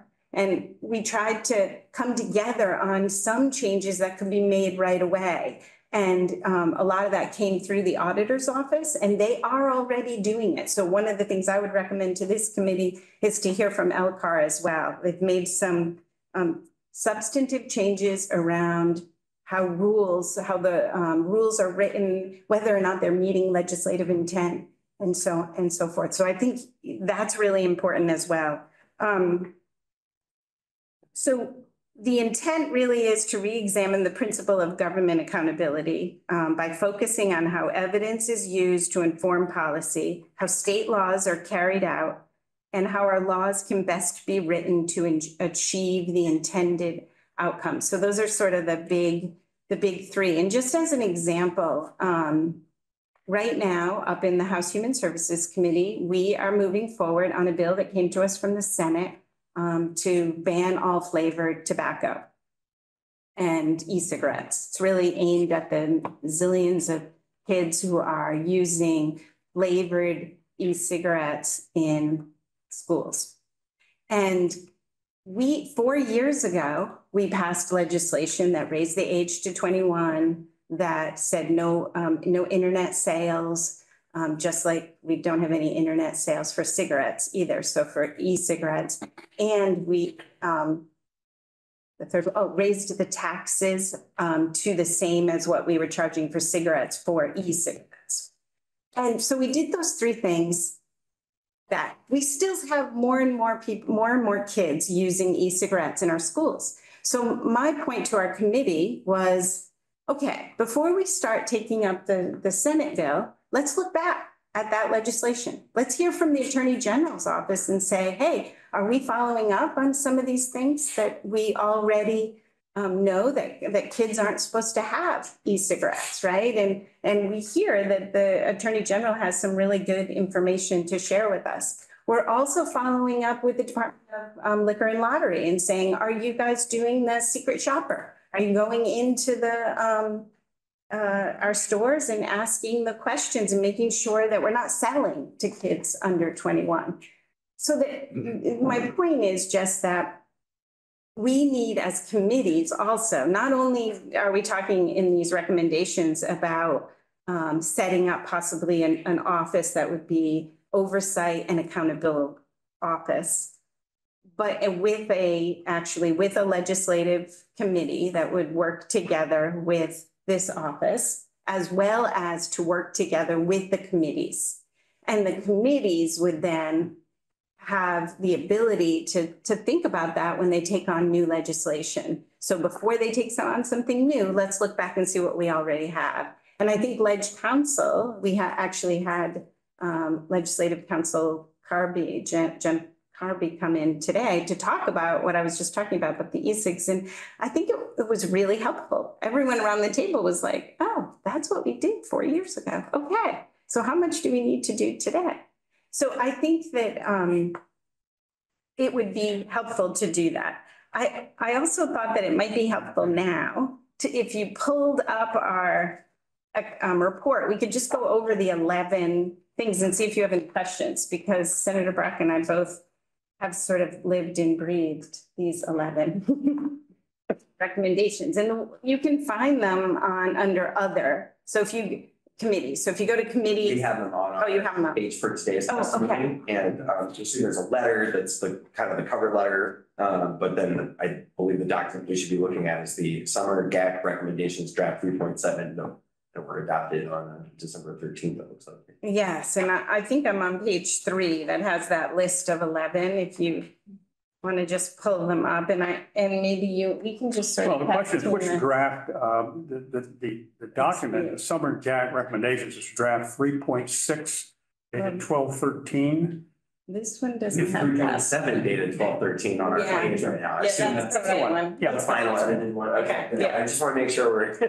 Yeah, definitely. And you'll see at the back of this report, Yep. we actually put the slides from New Mexico because we thought they were so helpful. Yep. Um, okay, so one, I mean, the first one is obvious. We talk about this all the time, educating members of the General Assembly on the importance of government accountability, right? We talk, and interrupt me anytime if you have a question, um, or Senator Brock, so that we can, um, help, help you all think about each of these. But you know what? You could ask the question, well, haven't you always been doing that? Yes, we have.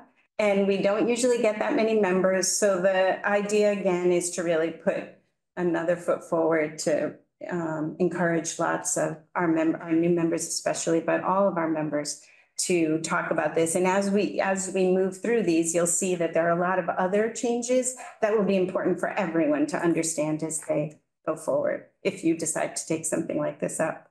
There's a linkage between simply the notion of educate and actually achieving some results from that education. Uh, first, to talk about the concepts and uh, methodologies using to do, use to uh, deal with government accountability generally. And we touched on that in the education that was presented by the, by the last committee, but also training in data-informed decision-making, and then also the creation of some tools that could be used on a replicating basis uh, throughout legislation that we construct so that we have some consistency in what we do. So people are tied in to looking for particular things that would help measure the results uh, and outcomes of legislation that we pass. This is the government accountability equivalent of how we in here look for a sunset for every board and commission that gets set up in mm-hmm. those, right? Exactly. Okay. Exactly. So two is create a joint government oversight and accountability committee. And that might not, that wouldn't be a policy committee that would sit, that would meet during the regular time. It, just so you know, each one of these, so there are eleven. And then if you go back through the report, each one is, has all kinds of examples and other information next to it. But what we were thinking here is a committee that would probably meet in the summer and fall regularly would work um, alongside or with some input from the auditor's office, as well as with the joint, if we are able to put funding into some new staff that just works on oversight and accountability with committees um, through joint fiscal and ledge counsel, that this committee then would work with them off cycle, you know, off when we're not in session. And one of the things that we saw from looking at the work done in other states, particularly those that whose whose state auditors also are involved in an oversight function, is that reports are created uh, under government auditing standards about issues uh, and things to look at, things to improve, things that have created problems elsewhere. Uh, But there are mechanisms to ensure that there in fact is follow-up. Right now, Vermont has, has, has a void. Uh, There can be audit findings and audit findings of significance. Most of the time, uh, those findings are, are resolved, but not always. And you certainly have situations in which audit agencies say, well, we don't agree with that audit, and things die on the vine and don't get looked at further.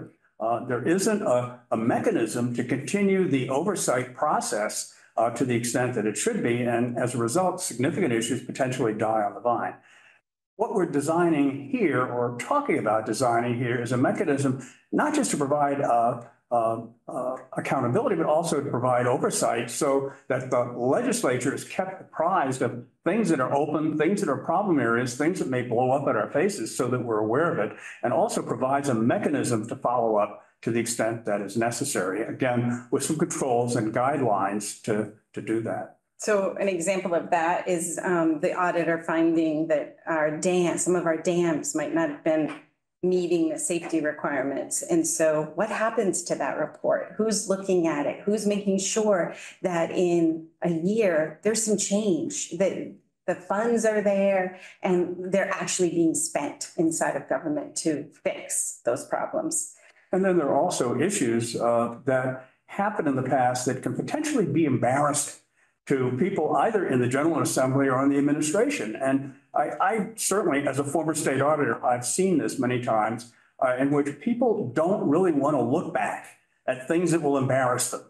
And as a result, they don't often get looked back on to the depth that they should. And this provides a, an oversight mechanism to ensure that we do in fact look back uh, and it provides a level of look back control so that this committee doesn't have the ability to go and create a major investigation of some kind, again, without authority and the permission to do so. But it says the audit, the, this group can look at some things that, that get referred to it, whether through audit or otherwise, and recognize that when we talk about audit, we aren't just talking about audits that are done by the state auditor's office. We have lots of auditors uh, in state government. Uh, provided by agencies the federal government, for example, uh, who provide audits and provide audit reports. Question is, is there a place that that goes to from a legislative perspective that provides oversight to it? And this provides a mechanism for that to happen also. And so then number three, it builds on that, right, as to where's the staff coming from? And it's to define a policy, planning and program evaluation staff function to assist the General Assembly with improved accountability. So that's that coming from Joint Fiscal Ledge Counsel together to help us with that work, both in committee and outside of committee. There's consumed. Um, I'm, I'm So making both- notes. Sorry, Representative Hooper, go ahead. Sorry. It seems like with what Mr. Former Auditor just said and the continuation of this, that it's getting to be a pretty fine line between the administration's responsibility to carry out the will of the legislature and our ability to just say, here's the money, go do what we said. How do you deal with that? I mean, we seem to be enforcing something that we may traditionally not have the authority to do. I think that that fine line is exactly what's here. Don't we do that now? We sort of do this now. We come back in January and we say, oh, how come we didn't spend that money on the housing in Bennington, but we approved it? Mm-hmm. And so there are, and then we receive reports. We might receive a report from the federal government that goes through the auditor's office and ends up in a committee that says um, all kinds of things that we should be doing. I'm trying to think of a good example. Um, the um, Child Care Financial Assistance Program had been told when they were audited that they didn't, um, they, their IT systems were not up to speed. So we um, made sure through the appropriations process that that money kept going, funneling into the Agency of Human Services, Department of Children and Families in order to upgrade that. And it wasn't happening. And we didn't realize truly that they were not in compliance. And so this is an opportunity rather than just as we do now, which is sort of walk on both sides of that line, trying to figure it out, even though we're a part-time legislature. This is an opportunity to really look to have systems in place that make it so that individual legislators don't have to remember it on their own. So the CCFAP plan, uh, pro- problem that came up, I knew about it. And I don't know if you remember Representative Treber was the one who had told me in appropriations. And so we, we kept asking those questions, right? But if both of us had left office at the same time, the systems weren't really in place to make sure that people were asking those questions based on these sort of things being in place. And that's what we're really saying, that there is a fine line, but we're trying to figure out how best to follow through without it being about the individual sitting in the, our And it's, in most states that you looked at, it is a legislative watchdog as opposed to a separate inspector general sort of uh, organization. that- Well, the the legislature in many of the states that we looked at did have a mechanism, often a legislative audit office, for example, in which the reports by these outside agencies went to one place in the legislature. This is not exclusive, uh, but one of the things that legislatures did is to look at whether or not the legislation they passed was being implemented and the processes they put in place were in fact being followed. Uh, and then it, it gave them the ability to have sufficient information to be able to ask the questions that legislators typically ask when they talk with agencies uh, or others who are involved with the implementation of programs. It also uh, was designed to help legislators look at was the, the legislation passed sufficient? Was it working? Was it doing what was intended? And is there something else we should do? It answer, it helps answer questions, and that's the real goal. It's not designed to replace anybody else. Um, okay, and then the next one is adjust the timing of the programmatic and performance measures budget report as well as other reports. We just noticed, and this again is something to take testimony on, but we really noticed that the budget really is a, it's one year, right? From, we know there's a beginning and an end, but couldn't, do you have to look at it at the beginning or the end? Could you look at it when it makes sense? So if you always look at it in October, then it's still one year that you're looking at it in October, so that by January, you're prepared and ready to go. Um, is a question that I think is important for you all to think about. Like, why do we stick to certain deadlines when we know how difficult they are to meet for both sides? Um, so that's. In particular, you may get a legislative report that is delivered to the General Assembly on January uh, fifteenth, but uh, in order to prepare a budget to deal with it, you have to have the information well in advance so that the information is useful uh, in the construction of that budget, which is actually going to be delivered in January. The fact that we have information coming in at various points in time is rather, as rather, some, as rather than having some consistency in having reporting dates that match the actual need for the information. That's the piece that seems to be missing. And what we're saying is perhaps if there is more consistency in this and more thought given to when reports are delivered to us to act on, we might be able to produce better end results. Put it all together. Um, five is increased consistency and accountability in rulemaking with support from the Legislative Committee on Administrative Rules. And that's the one that I said, they've already started some of these changes um, that both we recommended and the auditor has recommended. So I think it'll be important for you all to hear from LCAR. Do do have Representative Higley here, who is our uh, ambassador to LCAR and serves on both this committee and LCAR. Great.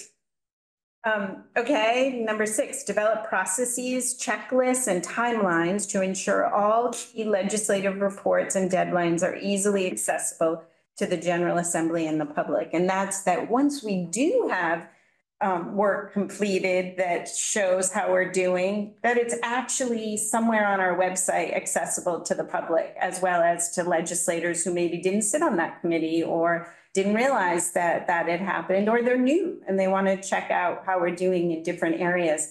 We don't really have that anywhere on our website. It's pretty much dependent on what you know you're going after to look for. But if you're just a member of the public, it's really hard to find information about our accountability. Um, Number seven, seven, establish a process to ensure that committee members and committee staff regularly and formally review past legislation, legislative mandated reports, and other materials. I think we've talked about that a lot. Number eight, establish a process that allows House and Senate committees dealing with issues related to appropriations, institutions, and transportation. And the reason for those three committees, these are money committees, to follow up on the previous year's budget with historical data. So the idea being that rather than, for those of you, uh, I'm not sure if this committee does, works on the budget, but most policy committees work on the budget. So our House Human Services Committee, we um, look at the policy decisions that are made or not made um, based on how much money is appropriated, right? So this idea is that we wouldn't, right now, the way, when we look at the budget, a lot of it is around the ups and downs, but not those things that happen to stay the same. It might have been that they went down or up, but not by the end of the year, they were back on the same line. And so we miss a lot of information, right, overall. And then the real question is, shouldn't we be looking at three or four years back and see what's happening? We do get some information like that when we look closely at the budget. Um, we see some bar graphs and things like that, but it would be, what we'd really like is the big numbers to be over time so that we can actually see how things are changing in government over time. Um, that one's a harder one, and I think you'd have to hear from appropriations, but we, we did see some evidence of this in the New Mexico um, bills. It seemed like it was a, a lot of the, um, the questions that were posed by staff in the Joint Fiscal Office were around time, over time. They weren't very specific to last year and this year, you know, just looking at like the twenty-three and twenty-four budget. They were looking back to the twenty budget, that sort of thing. Um, and then number nine, is that right? Yeah. Mhm. Establish a process for committees to monitor and report upon deadlines relevant to enacted legislation. And so that's in our committee, we passed the big childcare bill last year. We made sure that our committee assistant had um writ- has all written down into our timeline when every report is due and if it's not in, checking on it, that sort of thing, but really making that a systemic, uh, something we do in every committee. It's not all the same. The other thing is legislative counsel does a report at the end of the year that summarizes all of our laws that were signed by the governor. And in it, they have a chart that shows um, when everything is due to be done from that law, but it doesn't just go in a structural way to every committee. Like legislative counsel doesn't always come into every committee and explain that is specific to the bills and the laws that they worked on. Um, some committee chairs encourage it and go ask for it, others don't. And so again, back to my point of it shouldn't matter who's sitting in these seats. It should just be a process so that everyone gets used to that happening and um, makes and is able to respond they would like. So number ten is require a performance note for legislation that is a priority or costs more than a threshold dollar amount. This is a big one and um, Huge one. if, if you look back here into your section by section, if you go to ten, you'll see, okay, my pages aren't numbered, but I bet your pages are. Um, is it for you? No, I don't think your pages are numbered. Well, I have it on the PDF I have, it's page eleven, hence. Does it say number ten at the bottom? I have it at the very bottom. Okay, and then when you go over to A, B, and C, and D, you'll see that this is that if you are doing legislation, that you have a clear statement of legislative intent, the overall goals and the changes anticipated, a description of expectations and timelines for these expectations, how you're going to collect the data in order to collect, to measure results and evaluate whether the legislation is having its intended impact, including its impact on specific populations, an entity designated by the General Assembly, preferably one that is independent and nonpartisan to be responsible for data collection, monitoring, and reporting back to the General Assembly on the progress associated with the policy changes and investments. And it could be this new group of staff that we've been talking about, right? That would help us to walk through this on legislation in the committee room, but then also would help us to look back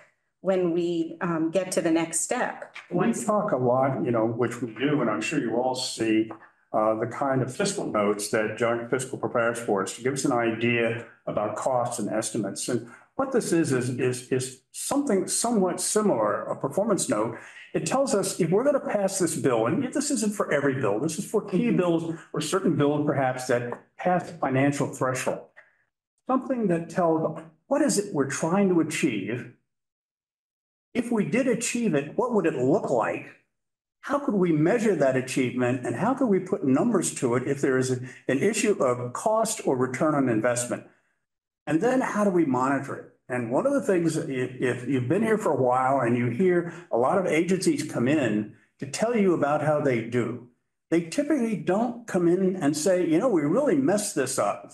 We missed our budget target. We didn't save any money. We added a lot of staff that didn't stay. A lot of things went wrong. That's, a- that's a lesson that you rarely hear. Uh, but those in some cases are lessons that are real. And that's why we say ideally, the answers that we get to those questions should be done by someone who has a degree of independence to be able to tell us without necessarily having ownership of the problem. Uh, and there again, uh, there's some suggestions about how to achieve that. And a good example of that is, again, I have to always draw from my committee because that's where my examples are, but the childcare bill. We worked really hard to make sure that there was an entity that is going to collect the data to show whether or not this bill is having its intended impact. It was a leadership um, priority last year, so it would fit in this qualification, right? It, it cost money, it was a new tax, I mean, all of those things. And what so we, we put Building Bright Futures, that is a quasi-public, private, independent group in charge of, they do qualitative and quantitative research with fourteen groups from all over the state, um, talking with parents, families, providers, all of it. And really are able to track down and are helping us to come, right now, I think on January fifteenth, they're gonna be releasing a report to the legislature that shows what they're gonna be tracking, how they're gonna track those things. And they just came into our committee the other day and already it's only been six months and we've created over a hundred new spots in um childcare spots all over Vermont, especially in some of our re- our most rural areas, Newport, St. Johnsbury, all kinds of areas. And we wouldn't have that information if we hadn't built it into the legislation. So it benefits all of us, not just you know, there's, it's a, it makes so much sense to be able to look and say, it worked. This is working after just six months. And they're going to be giving us updates every year for the next ten years to be able to show. And this will help us tweak the bill if it's not going quite right. If we find a problem, we'll see it. We'll see it in the data. How, I can't imagine anything better than that. So I have to say that this number ten is my, is my favorite. Um, I just ask, the idea isn't that we would do a performance note if we're doing like some procedural tweak to election policy. This Yeah. is when we're creating a revenue source and a big program and we're trying to impact thousands of families on a huge thing like childcare. Then we want to collect data and we want to understand who it's coming from and who's going to be held accountable, who's collecting it. Exactly, like housing. Wouldn't it be nice to have all that kind of information on all the things that, all the, um, what we've done so far in housing? We put in a huge amount of money, but we don't have a huge amount of information to help us understand it. And I think that that's, that's the point.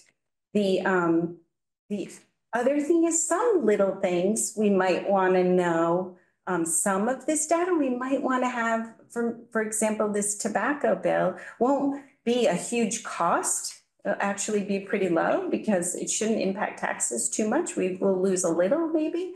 But we do want to know, is it helping us to reduce the number of kids who are using e-cigarettes? And there are many other questions we have too. So there, it's important for everyone, I think, to take some responsibility for looking at what they introduce. And if it were to pass, would they want to be able to tell people in their district or in this state how it has impacted the state? I think, don't we all want that in the long run? And even if it comes out, as Senator Brock said, if it comes out not quite what you had thought, like, oh, there's no new spots being created in childcare, okay.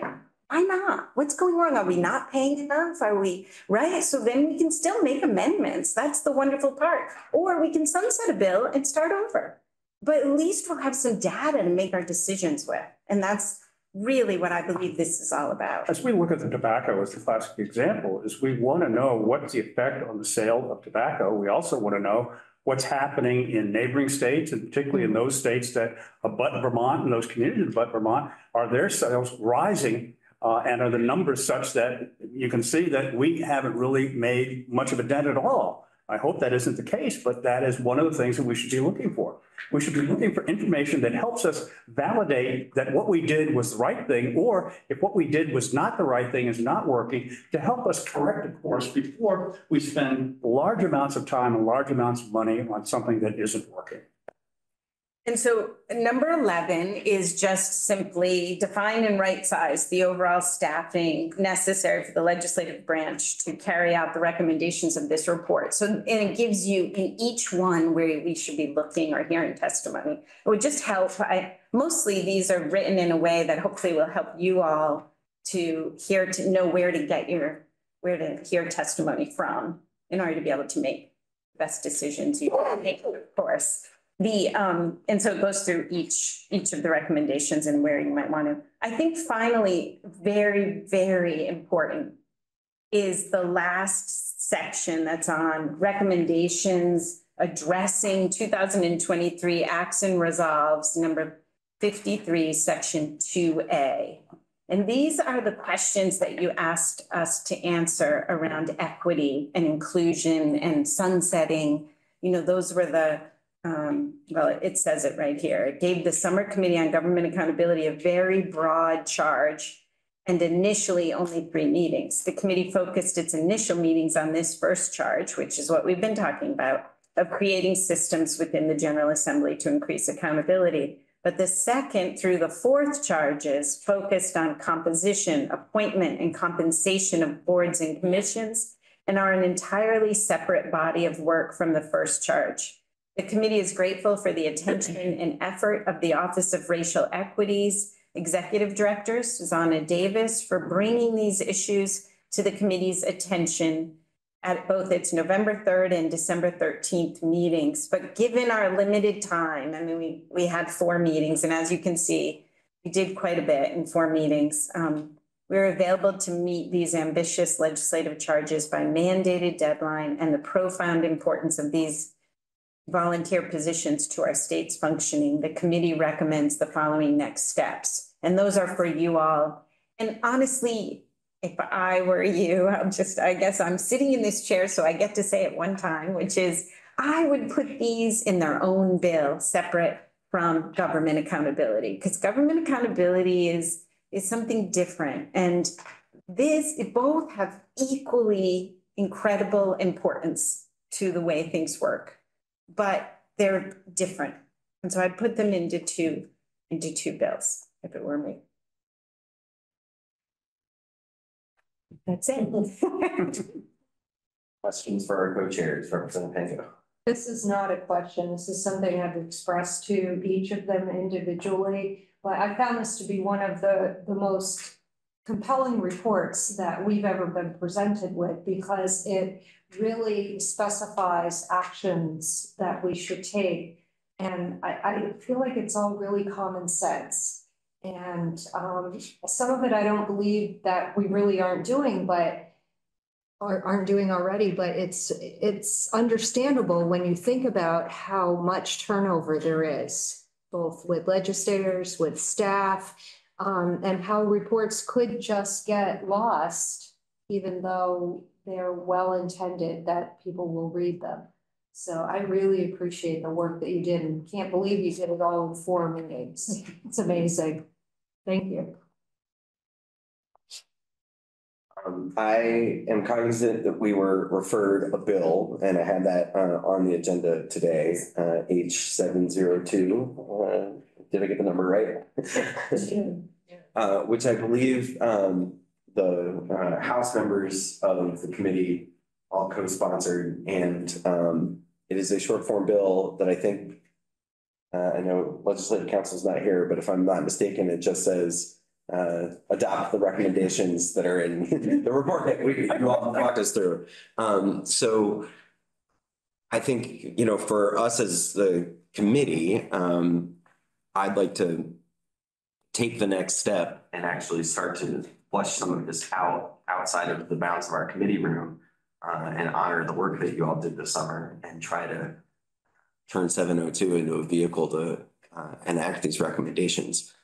I think the recommendations are clear and I really value all of the work that you put in. I also know that it is going to be uh, a challenge, I think, to get them into legislative language where we can get consensus and actually move it all forward. So we've got some work ahead of us uh, to dive into this, but um, it's one of the things that I think we set we set you all out some work. You've come back with good specific recommendations, and it's our obligation to uh, do our best this year to uh, try to make some progress in these areas. I, I don't know if other folks on the committee, um, if there's anything you're particularly excited to work on, um, but I'd love to get, um, and we don't have to do this right now, but if there are two or three or four of us that want to work on the language, um, and consult with Senator Brock and Representative Brumsted and say, is this really what you meant by that? Legislative Counsel and try in the next couple of weeks uh, to get um, seven oh two kind of fleshed out.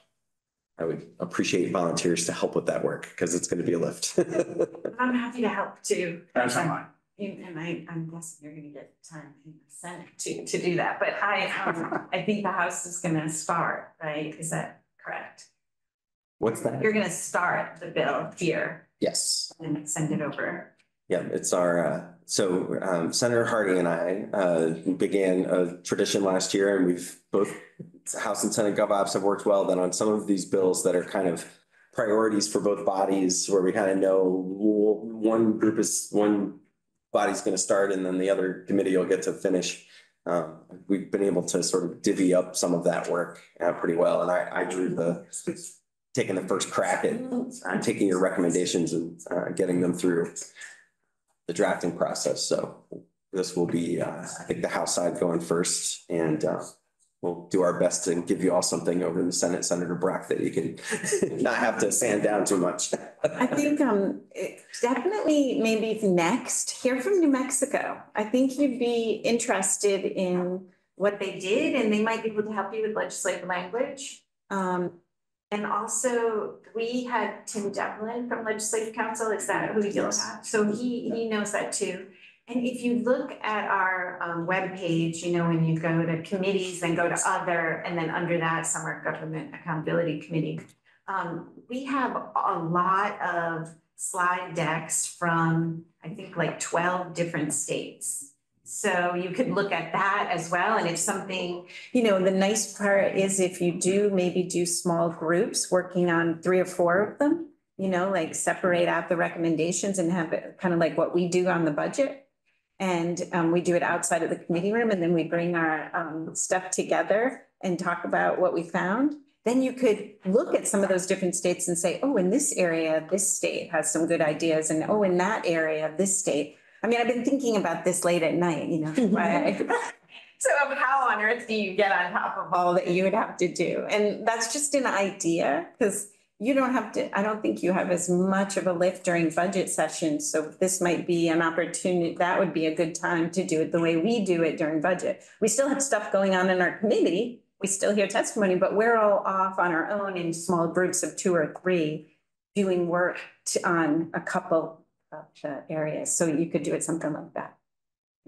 Just an idea. I appreciate the suggestions. It's, uh, there's a lot here. And, and I also, uh, am glad that there are other states that have gone forward that you're saying, yeah, these models look like Yeah. to emphasize. Um, I had the opportunity to meet the appropriations chair from, uh, New Mexico last summer and, uh, they have a very different style of how they do business in New Mexico, but some really impressive ways of thinking about how to organize their legislative work and um not surprised that they have a model that we can crib from.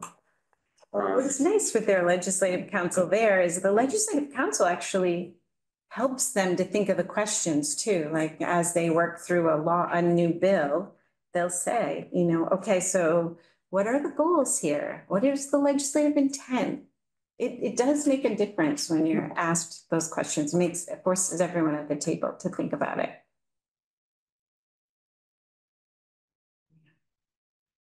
Any final questions for our co-chairs?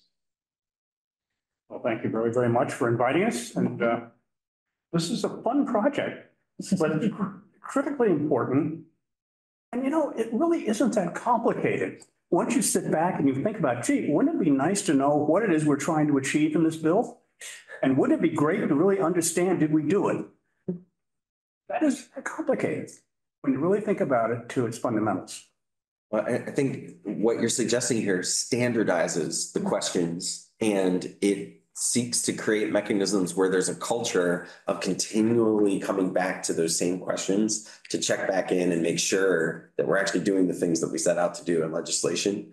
Um, and it's it's that not being um victims of the immediacy of whatever the next thing is, the next thing. And, and I think One of the things we also talked about was the uh, ability to have some immediacy in our reporting on the one hand, to the extent possible, and second, to have clarity.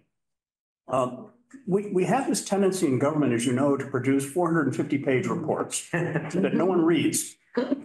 Uh, but really understanding whether something works and whether or not something does what's intended can often be expressed pretty simply. And the key to people understanding, reading, and appreciating it was the ability to express it simply. And that sometimes is hard to do without thought.